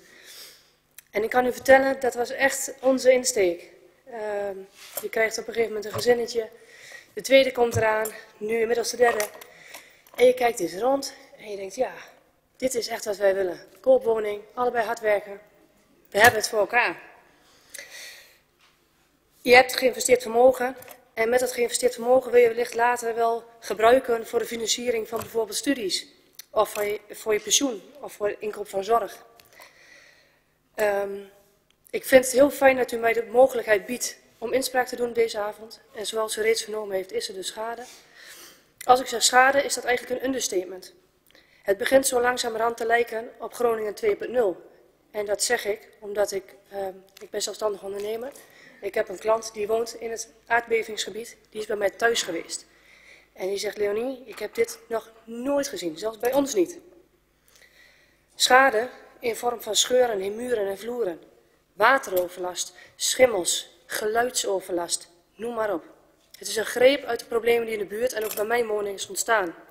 En mijn woning heeft een kelder. Ik moet elke maand 20 centimeter hoge schimmel bij mijn woning wegboenen. Met bleekwater, zodat het niet bij de boodschappen, de wekelijkse boodschappen uh, en het eten voor onze kinderen komt. In onze keuken zit een scheur van 3 centimeter breed. Die in de afgelopen 3,5 maand ongeveer 4 mm is toegenomen. En door mijn hele woning heen zitten scheuren. Boven is er geen vierkante meter van de vloer die nog recht loopt. Alles beweegt in huis. En wanneer er een zwaar voertuig langs rijdt, trillen we boven in ons bed. Hier sta je letterlijk dagelijks mee op en ga je mee naar bed. De provincie is nu bezig om een onderzoek in te stellen die maanden kan gaan duren, volgens de provincie zelf. En ik heb ook die schadeadviseur thuis gehad, die expert. Uh, ik heb ook de verzekering gebeld. Uh, ik hoop dat u mij ook die vraag stelt, want ik kan u daar heel, heel iets over vertellen. Uh, maar dat past niet binnen de lijn. Maar de nieuwe werkzaamheden staan alweer gepland voor eind dit jaar, begin volgend jaar. En ondanks onze herhaaldelijke verzoeken om deze uit te stellen, krijgen wij geen gehoor. En daarnaast is het ook nog de vraag of wij deze tijd nog hebben, gezien de schade en dat dit niet stilstaat. En tevens heb ik gelezen en antwoorden op schriftelijke vragen die erover zijn ingediend. En ik hoorde het eerder net ook al in een vraag van, goh, wat verwacht u nog een betrokkenheid bij de gemeente? Tot aan de bewonersavond, en bij mij speelt het al vanaf 2016, heb ik nooit contact gehad met iemand van de gemeente. Toen ik hier aan de balie kwam vragen van, goh jongens, ik heb schade en ik weet niet goed wat ik ermee moet doen. Ik maar, ja, wij zijn maar een jong stel. Ik heb geen idee waar ik moet beginnen. Toen was er iemand die zei aan de balie, goh, ja, werkzaamheden kanaal, moet niet bij ons zijn. Kunnen we die niet helpen? Gaan we naar de provincie. Um, Dus ik vraag me dan af, is de communicatie dan zo slecht? Want op de bewonersavond werd ook gezegd, goh, we zijn hier echt heel erg geschrokken van de omvang van de schade. En dan denk ik, ja, ik ben vast niet de enige die hier langs is geweest om te vragen hoe of wat. Ik begrijp ook dat de gemeente een zorgplicht heeft ten opzichte van haar burgers. Ik hoop ook dat u echt naast ons gaat staan en ons wilt begeleiden in ieder geval om ervoor te zorgen dat onze schade adequaat, maar toch met enige voorrang uh, uh, wordt gezien en wordt opgelost. En aangezien de schade niet stilstaat, moeten we ook kijken naar de langere termijn. Ik heb in ieder geval geen tijd te verliezen. Als volksvertegenwoordiger wil ik u allen ook echt van harte uitnodigen, kom maar eens kijken.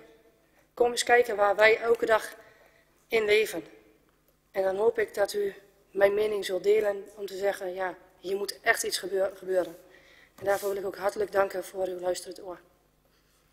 Heel goed. Ik pak het heel goed op in vier minuten, mijn complimenten. En ik geef als eerste de heer Kerkdijk het woord, want u wil heel graag ingaan op de te stellen vraag van de heer Kerkdijk. Meneer Kerkdijk, aan u het woord. Ja, dank u wel, mevrouw Schonewelle, voor uw duidelijk betoog. Inderdaad. Ja. De vraag uh, stelde, gaf u zelf al in uw uh, toelichting. Kunt u uw ervaringen met uh, de verzekeraar in de provincie eens wat nader toelichten? Ja, dat kan ik zeker. Um, want wij zijn al twee jaar in deze malaise aan het, aan het onderhandelen en aan het overleggen. In eerste instantie wisten wij natuurlijk niet waar dit door veroorzaakt werd. Dus je staat um, een beetje tegen, met terug tegen de muur. Je, ziet een klein scheurtje en die scheur die wordt erger. Je zit er daarin en je zit er daarin. Oké, ja, misschien moeten we hier wel wat mee doen. Wat is er aan de hand?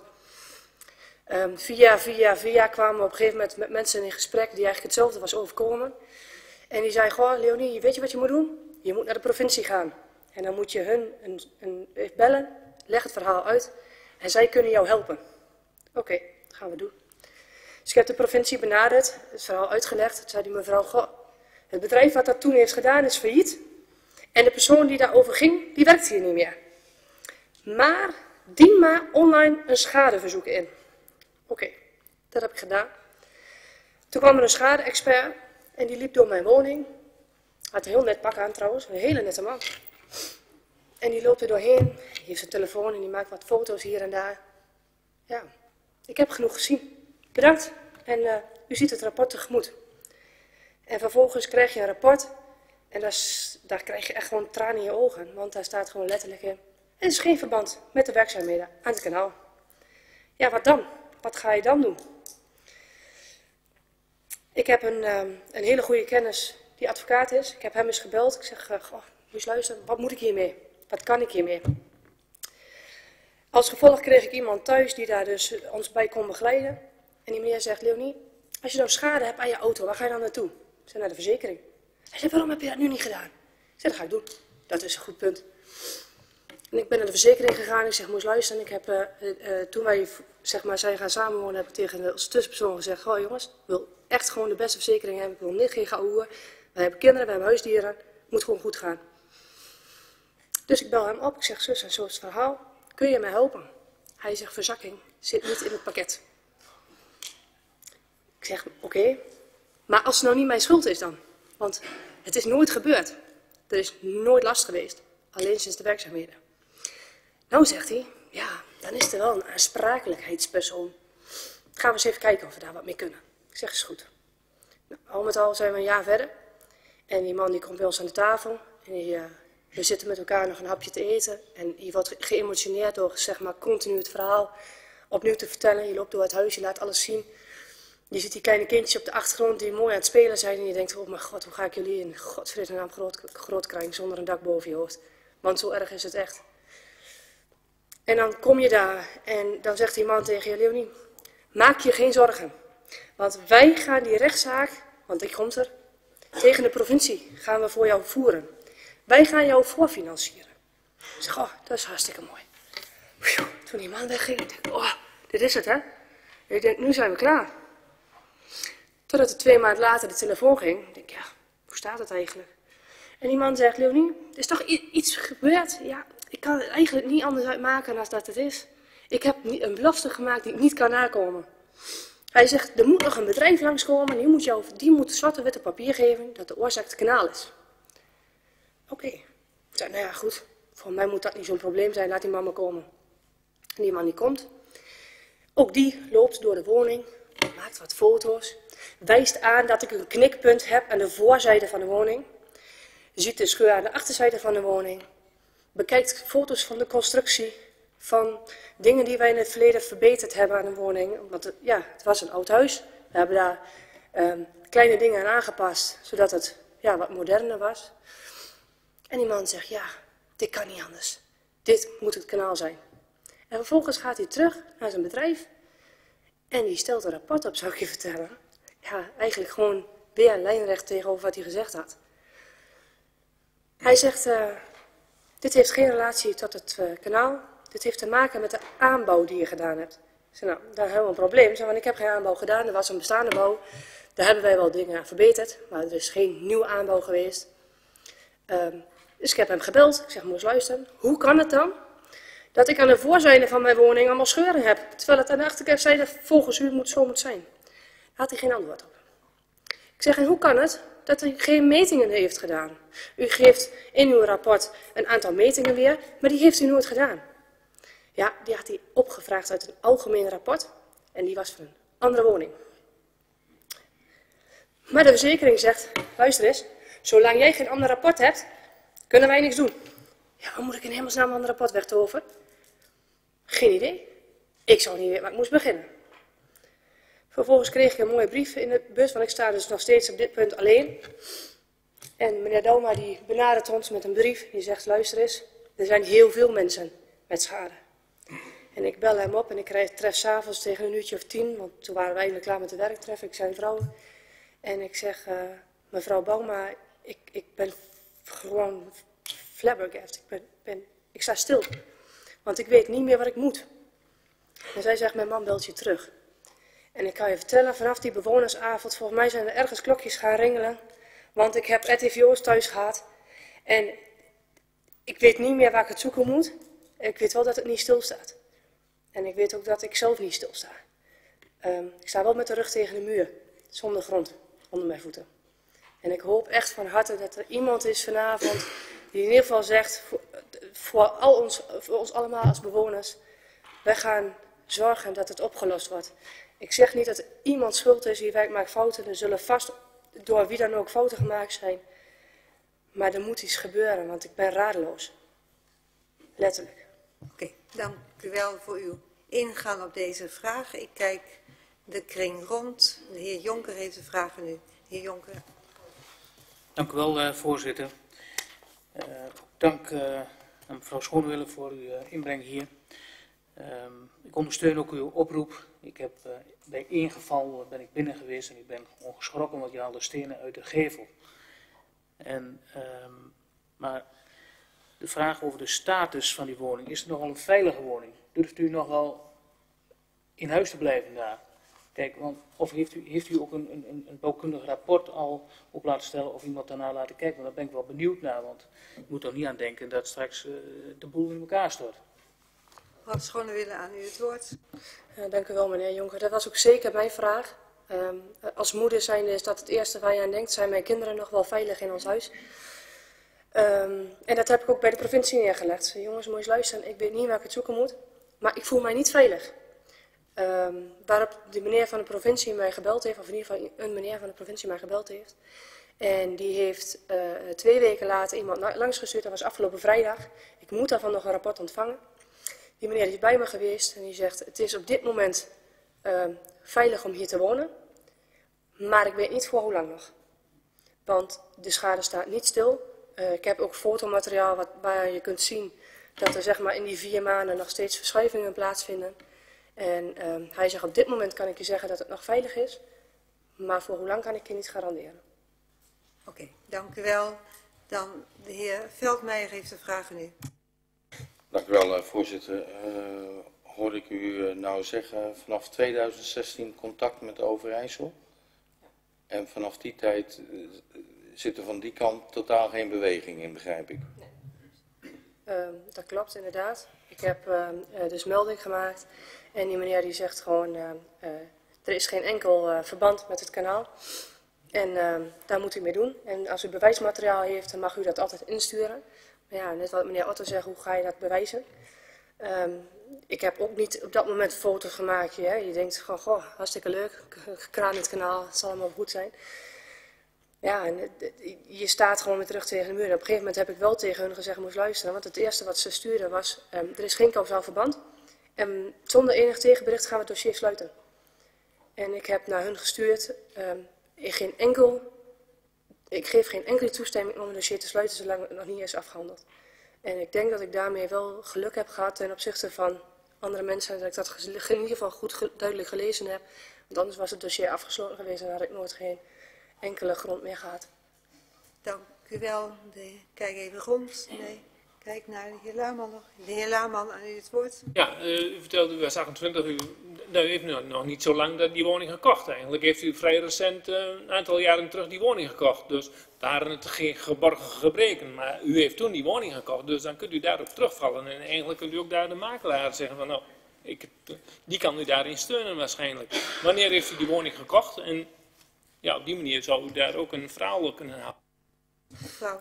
Ja, bedankt uh, in ieder geval voor, u, uh, voor uw vraag, meneer Laaman. Uh, ben ik ook met u eens. Dat was ook onze eerste stap. Van, goh, komt dat misschien wel door de constructie? Ehm, ik heb de vorige bewoner gevraagd. Want um, ja, via via kennen we elkaar van naam, zeg maar. Ik heb hem gevraagd om langs te komen. Hij heeft mij een verklaring ondertekend dat hij nooit geen last heeft gehad van schimmels, verzakkingen of wateroverlast. Um, ook goed om te weten dat wij dus wateroverlast hebben nadat wij 100 kub zand in onze tuin extra hebben aangebracht. Uh, uh, wij hebben de woning gekocht overigens in 2011 om uw, verhaal, uh, of om uw vraag te beantwoorden. En ehm, wij zijn daar gewoon begin 2013, want we werkten gewoon allebei fulltime. En om alles te bekostigen ja, duurde dat gewoon wat langer.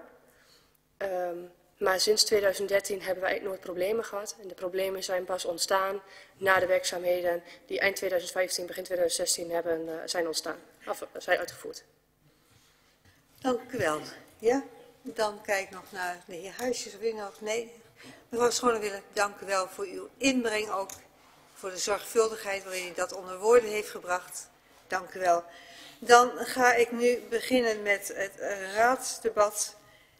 raadsdebat uh, dat even schakelen vind ik zelf naar zo'n de betogen die we net gehoord hebben.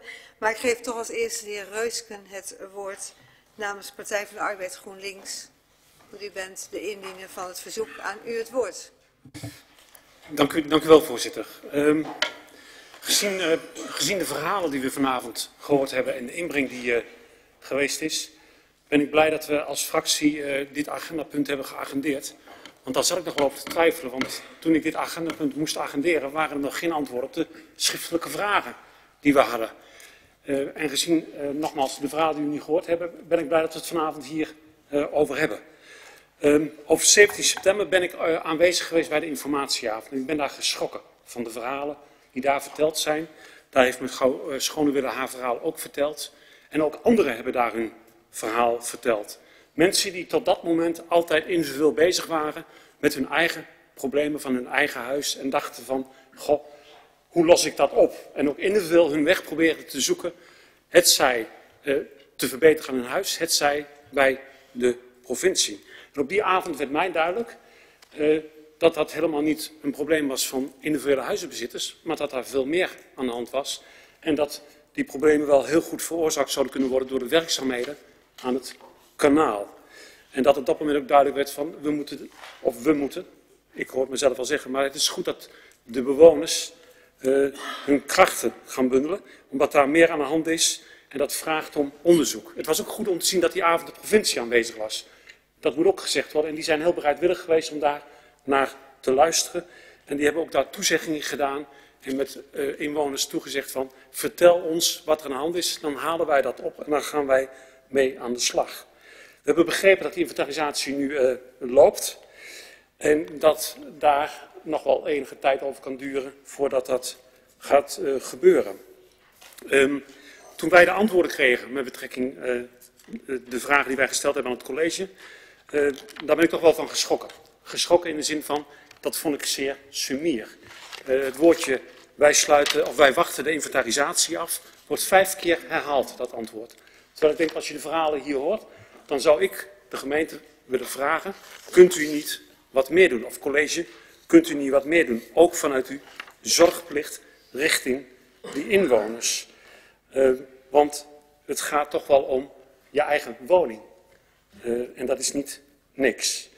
Um, wij zouden het college willen vragen om meer aan te sluiten bij de bewoners. Ook vanuit uh, de ambitie die dit college heeft om het gevoel van vertrouwen weer terug te geven aan de inwoners en de relatie met inwoners te versterken. En vooral richting de provincie te zeggen, provincie uh, besluit aan bij uw inventarisatie. Nee, wij zouden willen vragen, gemeente, ga naast die inwoners staan richting die provincie en zorg dat die inventarisatie zo snel mogelijk wordt afgerond.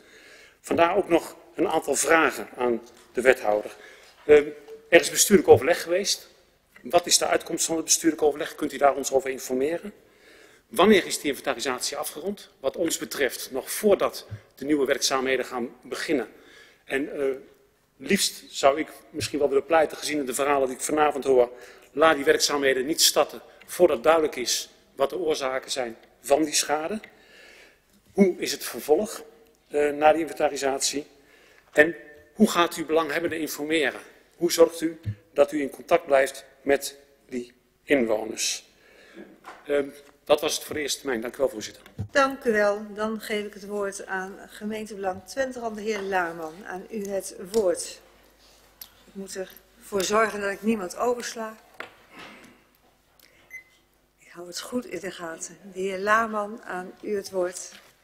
Ja, dank u voorzitter. Ja, uh, we hebben al behoorlijk wat gehoord vanavond over de schades die er ontstaan als gevolg van die opwaardering van uh, kanaal Almelo de Aanrik. En ja, je vooraf kun je ook wel inschatten bij dat soort werk, werkzaamheden dat je schades kunt krijgen. Met name met heien, dat heb je liever niet bij je in de buurt van je eigen woning. Het, het van, van zo'n kanaal. Dus dat, dat er schades ontstaan, dat, dat is waarschijnlijk niet vreemd. Maar dat er zoveel schades ontstaan, ja, dat is natuurlijk heel triest voor de mensen die daar wonen. En wat is nu hier de rol van, de, van onze gemeente dan? Want wij zijn hier geen opdrachtgever, de, provincie is de opdrachtgever. En uh, uh, ja, we staan hier eigenlijk als gemeente buiten wat dat betreft. Maar ik vind ook dat wij als gemeente ook een zorgplicht hebben, waarnaar gevraagd is.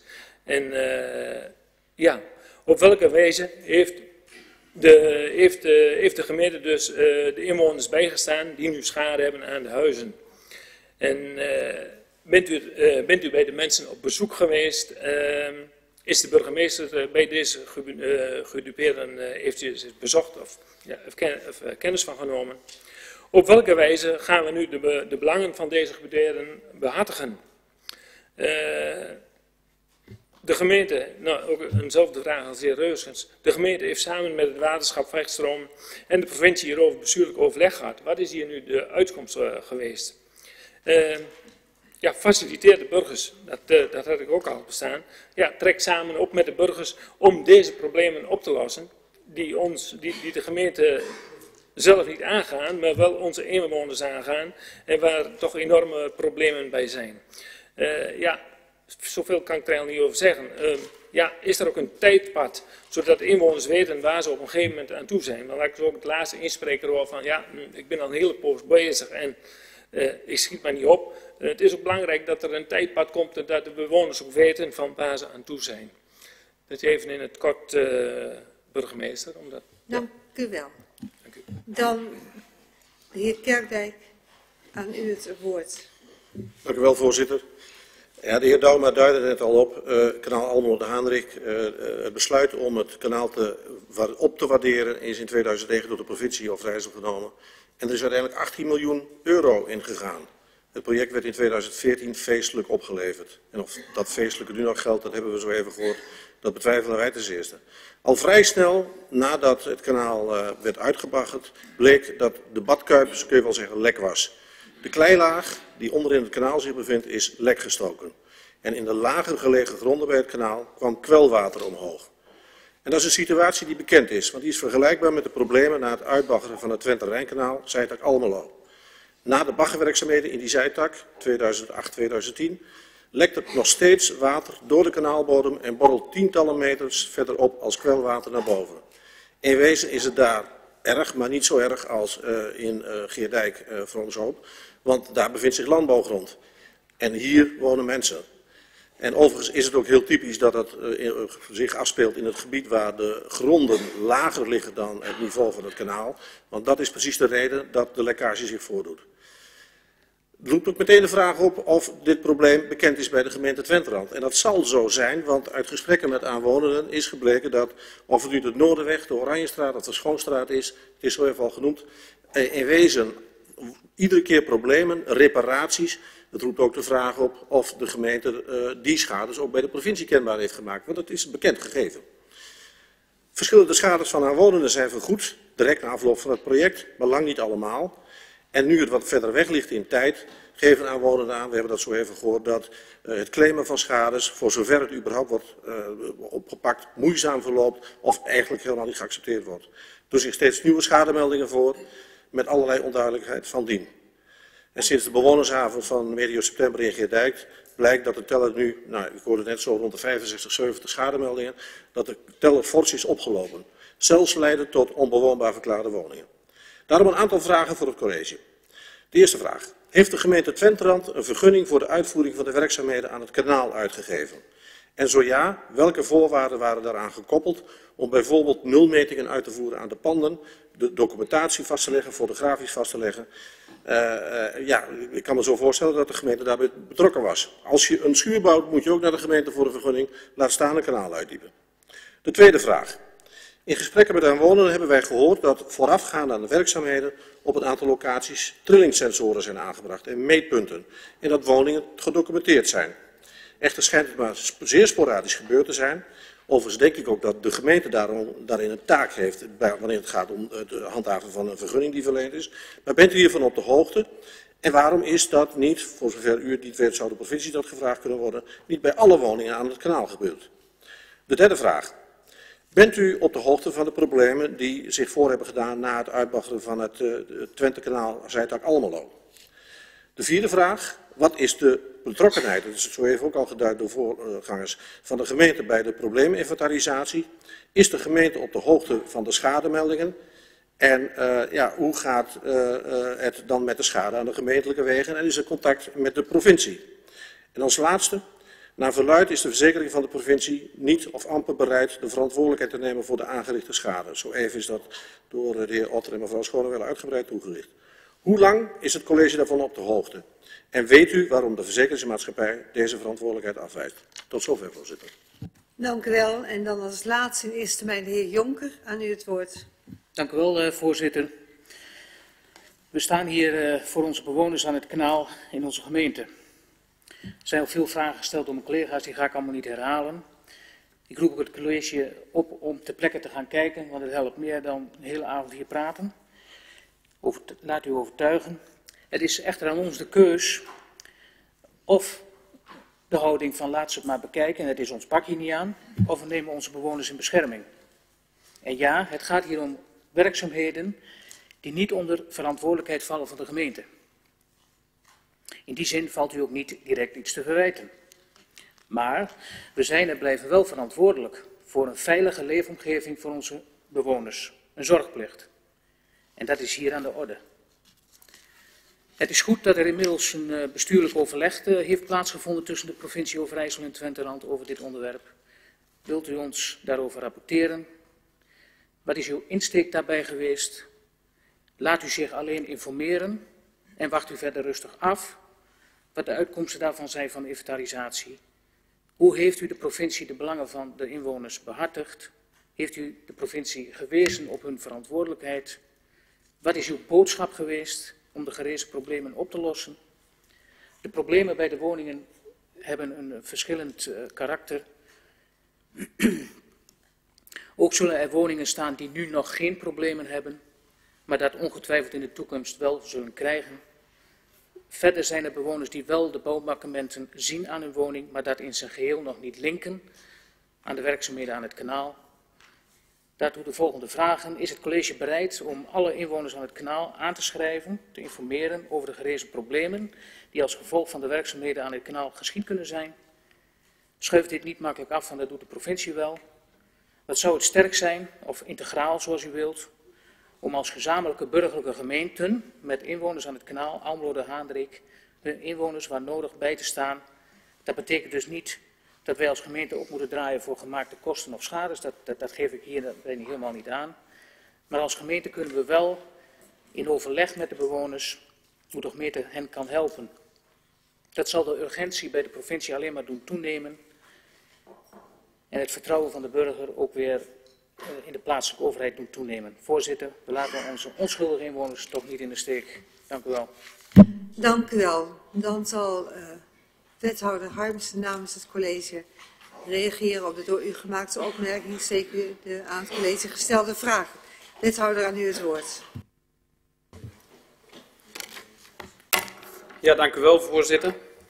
Um, ja, ik heb eigenlijk wel een, uh, een oproep aan de raad, aan ons allen, voordat ik op de vragen inga. En die oproep is van, uh, laten wij inderdaad dit in gezamenlijkheid doen. Laten wij dit als raad doen. Laten wij dit met de inwoners doen. Laten wij dit als college oppakken. En als u vindt dat wij die rol uiteindelijk gaandeweg het traject niet goed oppakken, laat dat dan zo snel mogelijk aan ons weten. Of u mag ons daarop afrekenen. Waarom zeg ik dat? Gezondheid trouwens. Waarom zeg ik dat? We hebben allemaal inderdaad dat gezamenlijke doel. De raad die vindt hetzelfde. De raad die zegt van kom op voor onze bewoners, kom op voor onze inwoners. Die te maken hebben met deze ellende. En die ellende zien wij. Die ellende is die avond 17 september is ook gezien door onze ambtenaren. Die zijn ook daadwerkelijk geschrokken. Dus wij willen dat ook samen met de raad, met de inwoners, willen wij daar gewoon um, inderdaad het signaal ook doorgeven aan de provincie. En niet alleen het signaal doorgeven, maar ook de, de noodzaak die er is, de ellende die er is, dat samen met elkaar, dus richting de provincie, verwoorden en daar die druk ook op leggen. Dus er zijn ook bestuurlijke overleggen, er is inderdaad eentje geweest. Er is morgen, of, uh, morgen is er een uh, overleg op directieniveau, waar wij als gemeente dus bij aanwezig zijn. En er is al bestuurlijk overleg geweest. Want ik merk ook eigenlijk de vragen die er zijn, die gaan niet zozeer over van wat heeft de gemeente fout gedaan. Het gaat er vooral om van neem onze inwoners, neem onze bewoners serieus.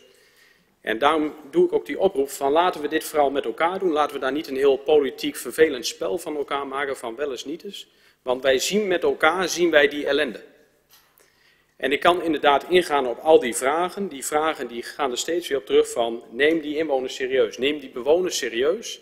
En zie de ellende die daar is. Ik heb uh, toen het andere debat zich afspeelde, zat ik uh, hiernaast. En toen was ik met een aantal bewoners in gesprek. Ik, had, ik weet niet zeker of ze het idee hadden dat ik de wethouder was.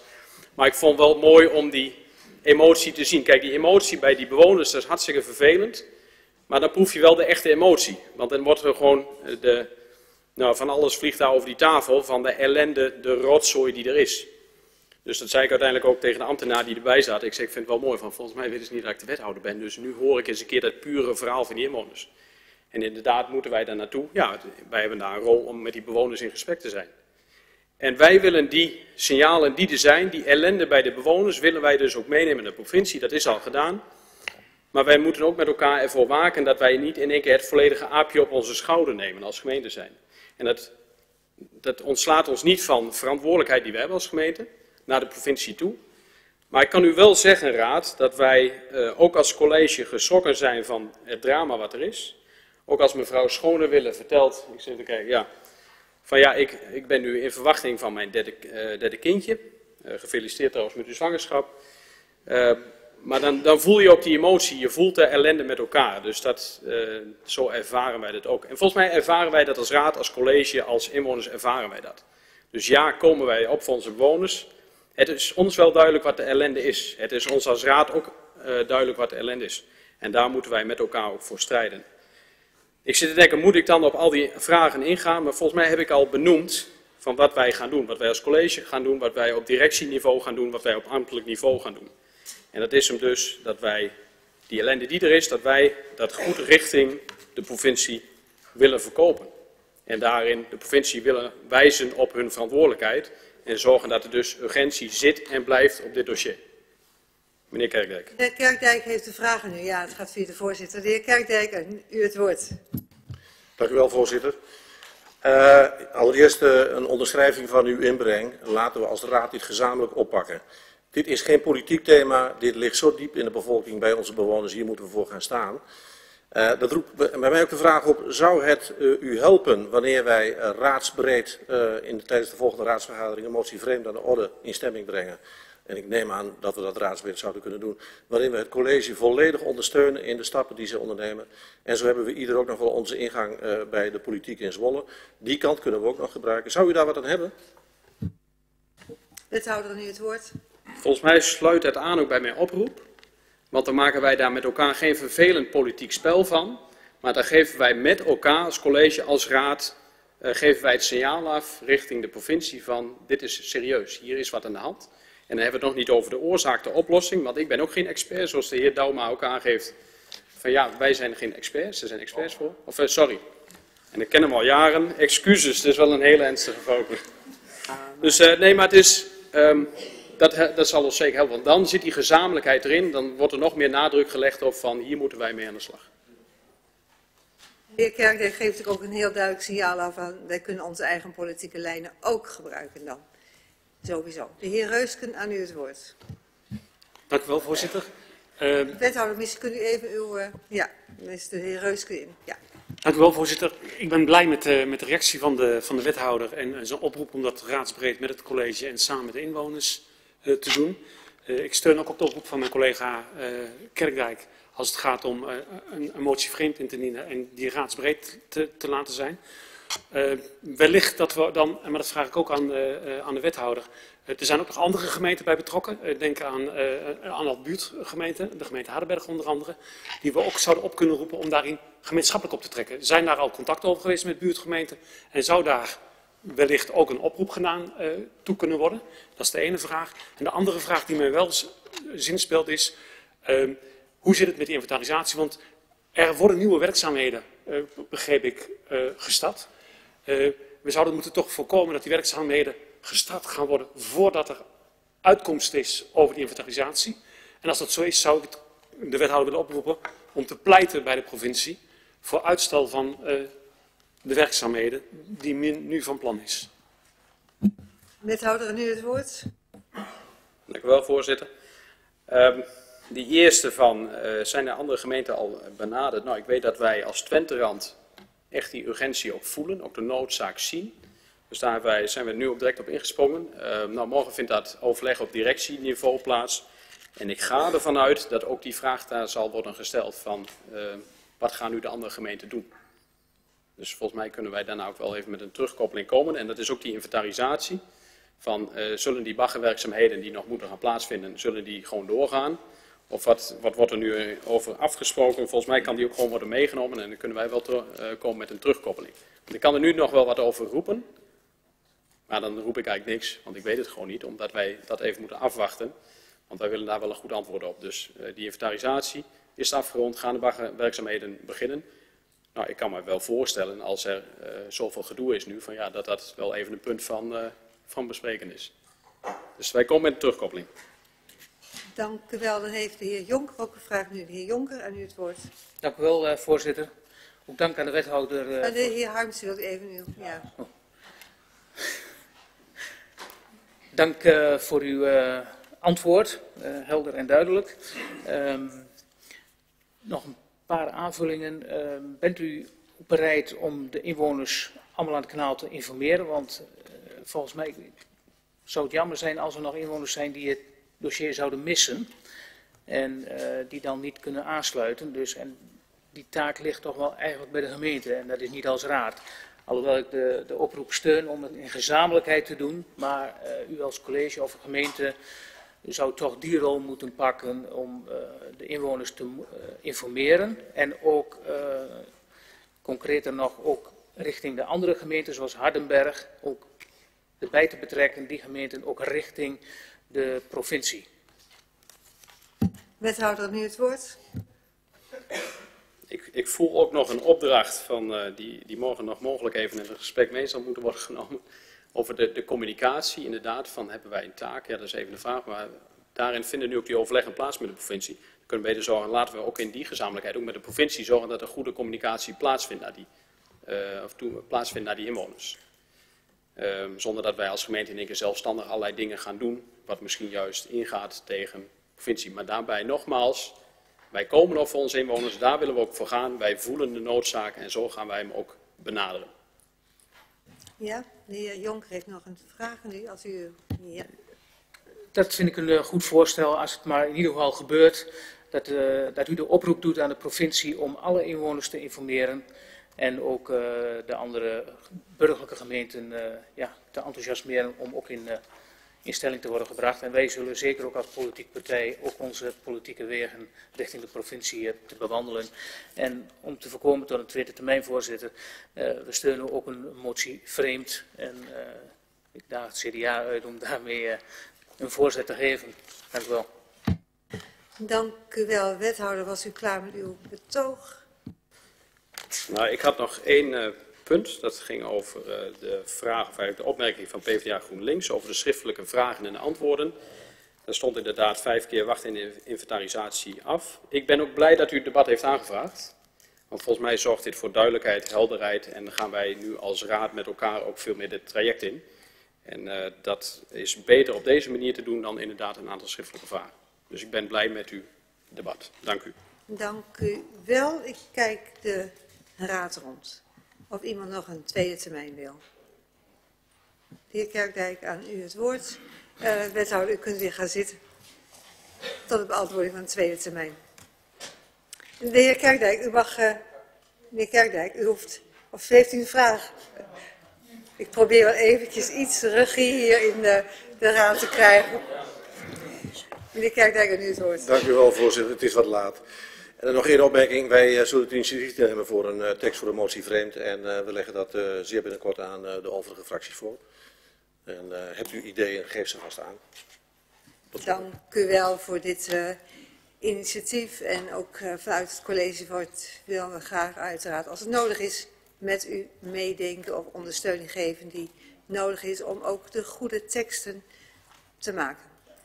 Dan zag ik dat de heer Veldmeijer ook nog in, of in elk geval in tweede termijn wilde, zeggen, wilde iemand verder nog het woord voeren in tweede termijn, dan de heer Veldmeijer nog en dan, als het nodig is, de wethouder en dan sluit ik dit debat af. Dank u wel, uh, voorzitter. Um, steun voor uh, de motie die gaat komen. Uh, voorzitter, wij hebben als PV Overijssel hebben we ook vragen gesteld over dit onderwerp. En toevallig hebben we gisteravond de antwoorden op gekregen. En misschien is het wel handig om dat te delen. We hadden onder andere aan de gedeputeerde gevraagd wat is de status van het opzetten van de commissie die de schade gaat inventariseren. En we hebben als antwoord gekregen dat ze daar nu mee in, in volle gang zijn. En dat de commissie zal bestaan uit drie onafhankelijke deskundigen. En de bewoners worden in de gelegenheid gesteld om mee te denken over de opdracht die die onderzoekscommissie gaat meekrijgen. En uh, de provincie streeft ernaar om medio, medio november een bewonersbijeenkomst te organiseren.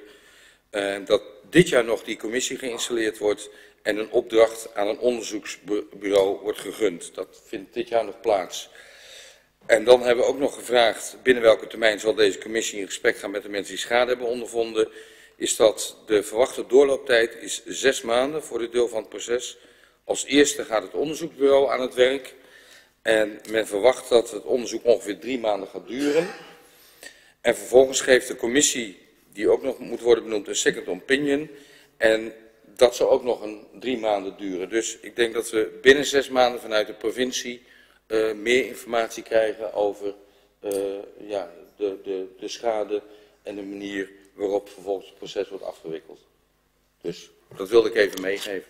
Dank u wel. En het is misschien goed om dat ook te delen met alle fracties. Hè, de vragen en de antwoorden die u kan ook helpen om een goede tekst te maken. Dan concludeer ik, want het was geen vraag meer aan de wethouder, dan concludeer ik dat uh, de raad voor de volgende raads, uh, raadsvergadering met een motie vreemd komt. Dat het gewoon via de reguliere weg ook allemaal geagendeerd zal worden en ook daarbij de teksten uh, goed bekeken zullen worden, zodat we daar met z'n allen een stap verder in kunnen maken. Ik dank u voor uw inbreng. Ik dank ook u voor uw geduld op de publieke tribune. Ik hoop dat u in elk geval uh, het gevoel heeft dat er een stap gezet wordt vanuit het gezamenlijk optrekken vanuit uh, raad, college en ook ambtelijke ondersteuning. Ik eindig dit tweede debat van deze avond en ik ga over, laat even schorsen voor vijf minuten, kunt u, indien u dat wilt, de zaal verlaten. En als u zegt van ik wil de hele avond blijven zitten, uiteraard bent u welkom. Dat begrijpt u wel, maar ik wens u allemaal wel thuis. Goed, ik ga weer beginnen. Het is aan mij de taak om iedereen weer op de plek te krijgen. Om het laatste agendapunt van deze avond met elkaar te bespreken. Het ontbreken zienswijze Hornbach-Almelo. En um, ik uh, heb geprobeerd om uh, straks zal er uh, een kittenkat en een bounty rondgaan. Dus als u zegt ik heb er twee nodig, dan pakt u maar twee. Ik had een hele voorraad in mijn kast, dus ik dacht nou vooruit om het vol te houden tot het laatste eind. Kijk, daar komen ze aan. Dus schroom niet om te zeggen van ik heb twee nodig, anders red ik de avond niet meer. Dan pakt u rustig twee. Het geldt ook op de tribune. En de pers schroom niet. Ik ga beginnen met uh, de, het laatste agendapunt ontbreken zienswijze Hornbach-Almelo. En ik geef als eerste het woord, er is geen inspreker, uh, het CDA het woord. De heer Kerkdijk, aan u het woord. Dank u wel, voorzitter. Gezien het uh, wat later tijdstip zal ik het proberen niet te lang te laten duren. het dossier Hornbach. als niet vervent doe het zelf, ben ik wel eens een keer bij zo'n Hornbach-vestiging geweest. En je kijkt je ogen uit wat je daar ziet. Het is echt een heel goed gesorteerde uh, zaak als het gaat voor het klussen voor de ZZP'er. Nou ja, de vestiging in Almelo die nu aan de orde is, als je daarnaar kijkt en uh, je pakt een artikel in Dagblad Tubantia voor enige maanden, twee, twee maanden terug, ja, dan, dan roept het toch wat vragen. Mede vragen naar aanleiding van onze op 16 juni 2018 ingebrachte schriftelijke vragen. In het artikel wordt genoemd dat Tubbergen vreest voor de negatieve gevolgen voor de winkelstructuur in haar gemeente. En ze zullen dit kenbaar maken bij de provincie. Borne geeft in het artikel aan dat de provincie een halt moet worden toegeroepen als het gaat om de ontwikkeling in Almelo. En wordt gezegd, Twenterand vindt de zaak van de gemeente Almelo, die dit met de bestemmingsplanwijziging kan regelen. En de gemeenteraad van Almelo is aan zet. Dan denk ik, Tubbergen zegt de provincie, Bonne zegt de provincie, Twenterand zegt Almelo. Wie is nu eigenlijk bevoegd in dit geval? Wat is de rol en de bevoegdheid van de provincie Overijssel?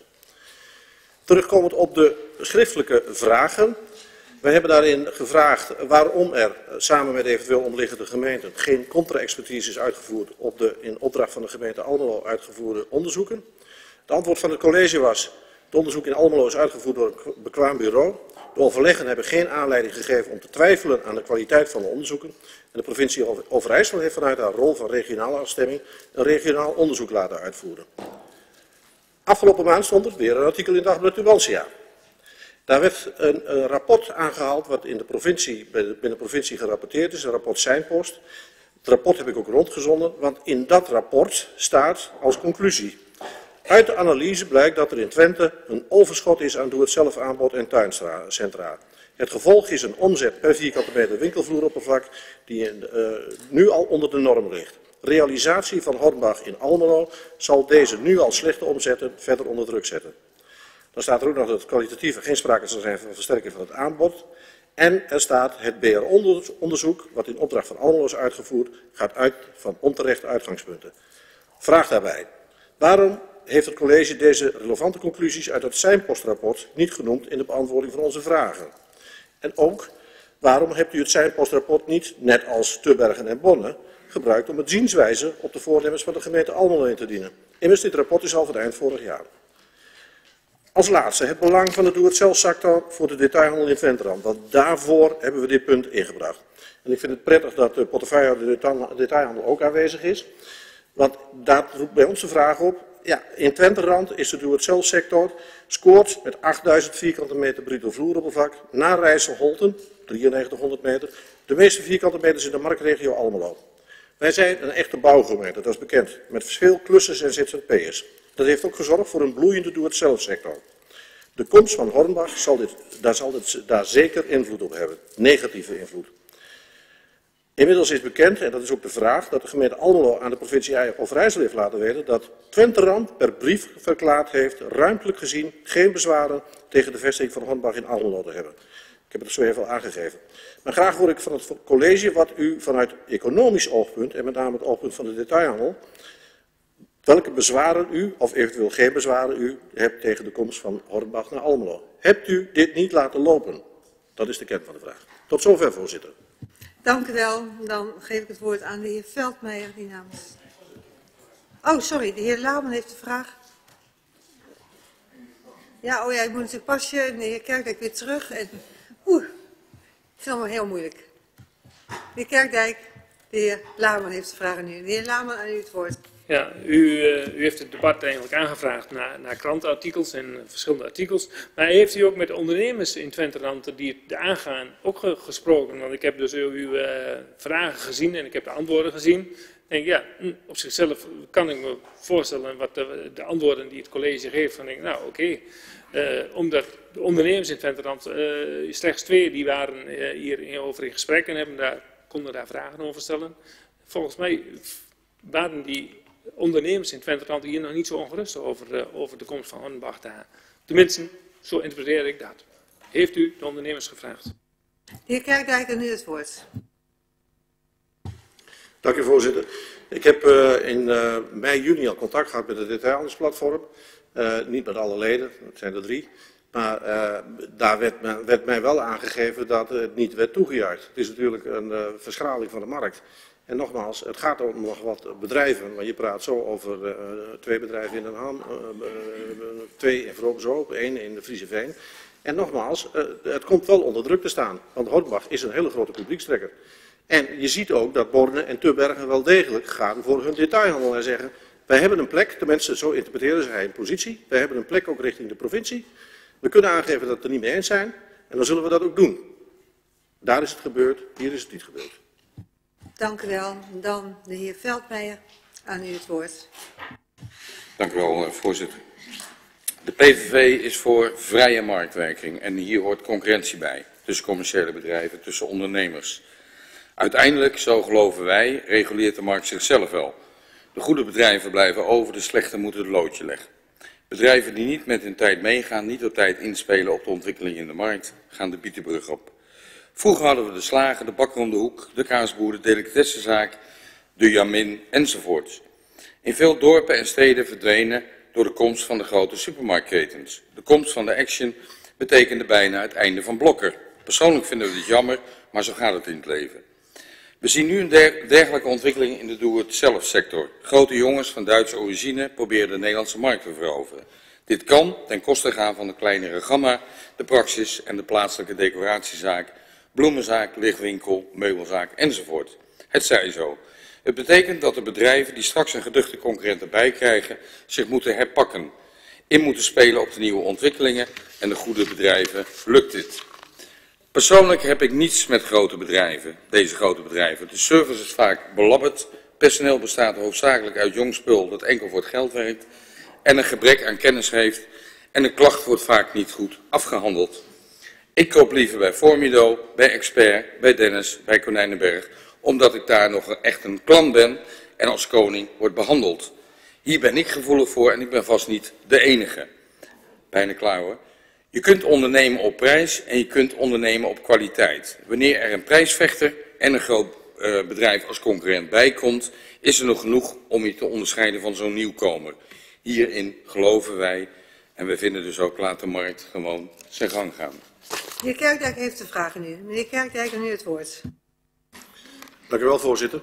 Ja, ik ben het eigenlijk voor 99% met uw betoog eens. Het is de markt en laat de markt zijn werk doen. Waren het niet dat de provincie Overijssel, als het gaat om dit soort grootschalige nieuwvestigingen, want dat is het, in een gebied waar al, maar dat is een Almeloos probleem, waar al een overschot aan vierkante meters eh, vloeroppervlak is, nog 15.000 meter extra inrichten. De provincie heeft gezegd dat dat dan moet worden afgestemd met de buurgemeenten. Wij hebben daar dus een rol in, verantwoordelijkheid in. Dat hebben twee van de buurgemeenten gedaan. En wij als derde buurgemeente hebben dat niet gedaan. Ik zeg maar altijd, je gaat erover of je gaat er niet over. Ik ben het met u eens, het is de markt, maar in dit geval hadden wij een punt in kunnen brengen en dat hebben we niet gedaan. En dat vinden we zonde. Nogmaals, want de markt zal het zelf afregelen. Maar je, kunt- je, je kunt dit tegenhouden. Dat is elders in de provincie gebeurt dit ook. Het is een mechanisme wat uw provinciale staten, want u neemt daar ook plaats in, ooit in 2013 heeft afgeregeld. Dus het is zo het is. En dan vind ik dus dat je als gemeente je verantwoordelijkheid hebt naar de sector detailhandel en datgene moet doen wat goed is voor die sector. Lokaal. Ja. Ja, ik heb geen vraag Nee, gehoord nee, volgens mij. ik ook niet. Ik zat ook heel diep na te denken, maar er, er kwam geen vraag. Maar ik dacht, er komt nog steeds een vraag. U was aan het eind van uw betoog, meneer Veldmeijer, dacht ik, dank u wel. Dan geef ik het woord aan de heer Jonker, die als laatste in eerste termijn hierover het woord zal voeren. Dank u wel, eh, voorzitter. De hoofdvraag wat de SGP betreft is hier sprake van oneerlijke concurrentie. Ik ben helemaal eens met de opmerking die de, de heer Veldmeijer net gaf. Laat de markt haar werk doen. Dat klopt ook, vrije markt. Maar het CDA heeft dit eh, debat eh, aangevraagd en eh, ook het rapport Ruimtelijke Economische Effecten, Hornbach-Almelo erbij betrokken. En naar aanleiding van dat rapport hebben we nogal een aantal eh, vragen. En die liggen ook in het kader van eh, het, het speerpunt wat het, eh, de coalitie heeft eh, om eh, het economische klimaat van onze gemeente te versterken. En er staan ook waardevolle eh, opmerkingen in het akkoord. Eh, denk bijvoorbeeld aan het eh, verbeteren van de, de winkelcentra en het eh, winkelverbeterplan te evalueren. In het rapport kunnen we lezen over de effecten. En ik citeer één zin. En er staat... Verschraling in het aanbod treedt mogelijk op in het centrum van Delden, Enter, Frieseveen en Wierden. Einde citaat. En nu weet ik wel dat het allemaal niet zo eenvoudig ligt, want de provincie heeft natuurlijk een hele dikke vinger in de pap als het gaat om de omgevingsverordeningen. Uiteindelijk willen we allemaal hier een, een mooie plattelandsgemeente leefbaar houden, et cetera, et cetera. En daar horen ondernemers, MKB, detailhandel bij. Daar is ook geen misverstand over. De vraag is of de wethouder bereid is om te kijken naar de knelpunten. En ik denk aan het voorbeeld nog van eh, het bedrijf Konijnenbelt in Den Ham. Welke problemen spelen in, de, in Twenterand? Uh, ga daar uh, in gesprek over in het veld met, met de bedrijvenverenigingen. En om een inventarisatie te komen en ook uh, richting de provincie uh, dat aan te kaarten. Is de wethouder daartoe bereid en daar de raad over te informeren? Dank u wel. Dank u wel. Dan geef ik wethouder van Appema het woord die namens het college zal reageren. Wethouder, aan u het woord. Voorzitter, dank. Uh, dank ook voor uh, de vragen die uh, gesteld zijn over dit onderwerp. Um, ik kan u zeggen dat het, het college hier ook echt wel even over heeft moeten nadenken. Wat is wijs, wat is verstandig om te doen? En dat heeft er ook mee te maken dat uh, er zijn inderdaad twee rapporten uh, zijn er uh, verschenen over de grote bouwmarkten in Twente. En wij weten ook dat, um, dat in dat segment er inderdaad ook een, een iets van een overprogrammering is. Dus dat maakt ook dat wij de overleggen die er geweest zijn, dat we dat uh, redelijk strak ook gevolgd uh, hebben en ook heel goed gekeken hebben van wat moeten wij daar zelf mee doen. Maar zoals u al uh, gezien hebt in de beantwoording van de schriftelijke vragen die door het CDA zijn gesteld, is het college um, van overtuiging geweest en nog steeds ook gebleven dat de effecten van Hornbach-Almelo zich bevinden binnen de normale concurrentieverhoudingen. En ik geef toe dat het inderdaad ook wel een klein beetje een spannende constatering is dat je dat doet, want um, je weet dat nooit helemaal zeker wat de markt ook gaat doen. En u ziet ook dat het rapport daar zelf ook uh, over spreekt, hè, mogelijk effecten op de centra van een aantal omringende kernen. En um, daar waar um, je inderdaad over een vrije marktwerking spreekt, regulering. Het gebeurt niet zo heel erg vaak, meneer Veldmeijer, dat ik u citeer. Maar uh, als, dat, als dat zo is, dan doe ik dat ook graag, uh, zeg maar. Hè, dus um, het college moet zich daar inderdaad ook rekenschap van geven. Dat ze niet ingrijpt uh, daar waar je dat ook aan de markt moet overlaten. En het college is nog steeds van overtuiging dat ze dat op dit moment gewoon correct heeft gedaan zoals ze dat heeft gedaan. Dus ja, sprake van eerlijke concurrentie met wat wij nu op dit moment weten wel. Wat niet wegneemt dat het college ook zeer nauwlettend volgt wat de provincie hierin doet. Want wij zien wel dat het uh, drie grote bouwmarkten heeft gewoon effect in Twente. En laat dat dan voor Frieseveen dan wat minder zijn, maar ehm, wij kunnen heel goed begrijpen dat de gemeente Tubbergen en Borne dat die ervoor gekozen hebben om juist ook in dat netwerkstadverband om wel met een zienswijze te komen als er bij hun ook aangegeven wordt dat de kans op leegstand in hun centra gewoon uh, echt aanwezig is. En dat is een punt wat de provincie heel erg belangrijk vindt. En dus ook terecht dat de provincie daar ook middels dat zijn postrapport extra aandacht voor gevraagd heeft.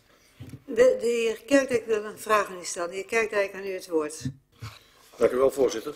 Ja, de toelichting van de wethouder levert voor mij de vraag op. Enerzijds zegt u, uh, u, constateert dat inderdaad het winkelbestand in Frieseveen onder druk eh, staat. Dat wordt ook geconstateerd in het zijnpostrapport. Anderzijds zegt u, Tubbergen en Borne brengen, omdat het winkelbestand onder druk staat, brengen zienswijze in. Maar Twentrand zegt, het is aan allemaal, wij brengen geen zienswijze in. Kunt u me nog eens uitleggen waarom die handelswijze gevolgd is?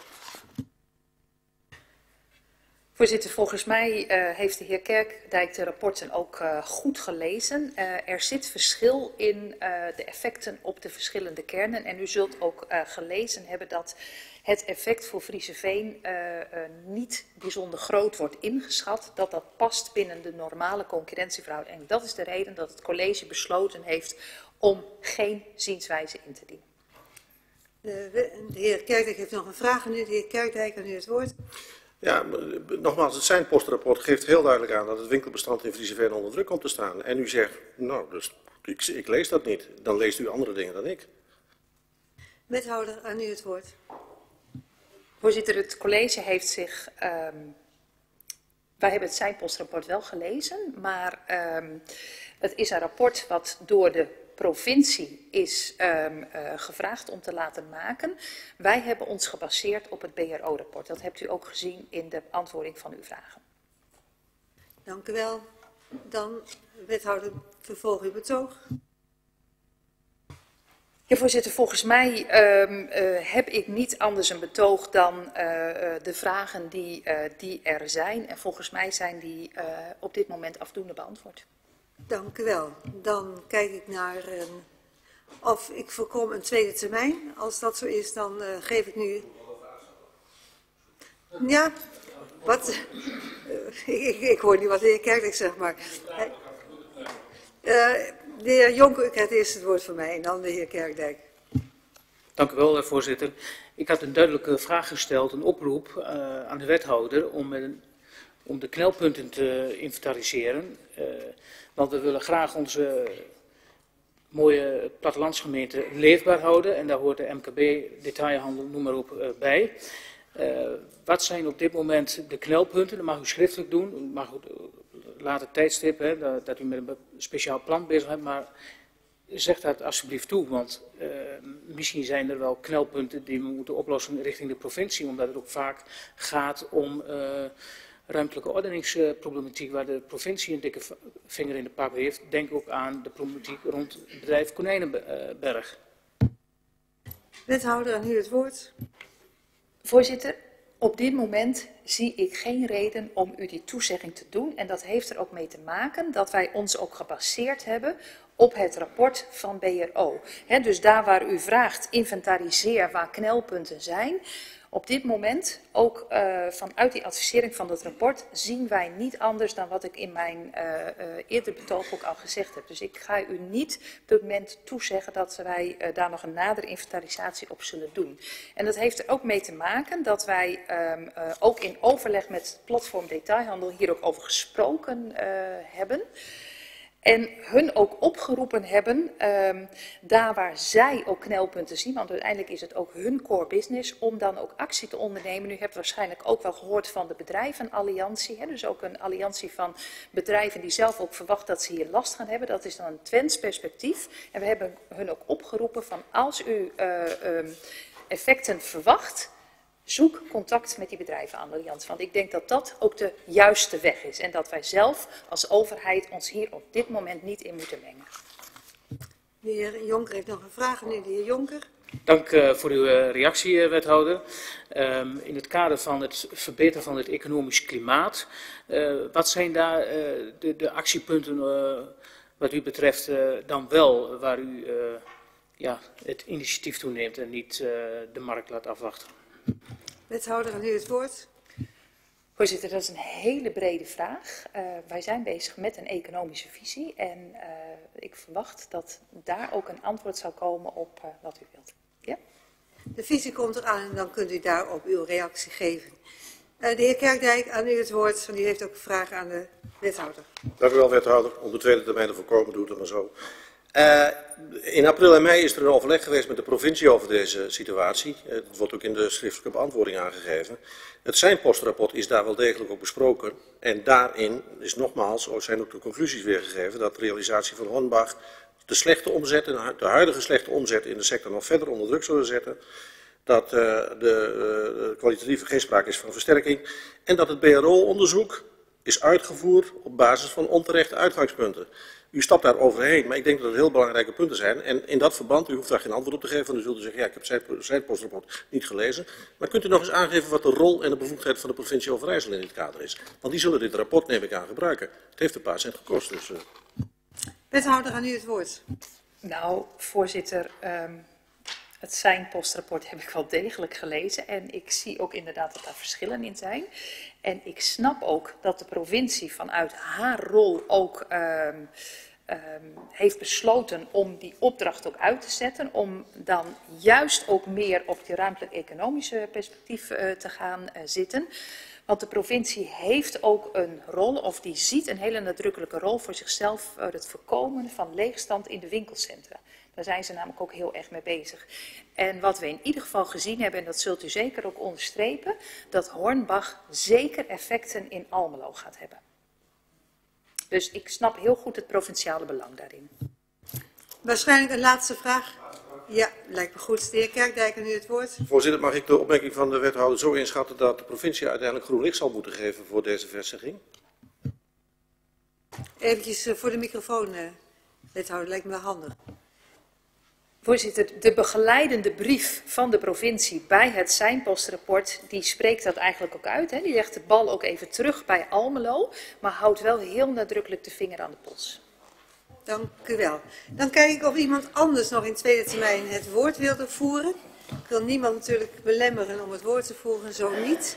Dan sluit ik ook dit debat af en is het het eind van deze raadsdebat. Ik wens iedereen wel thuis. En ik hoop u op de bestemde tijd uh, weer te mogen ontmoeten.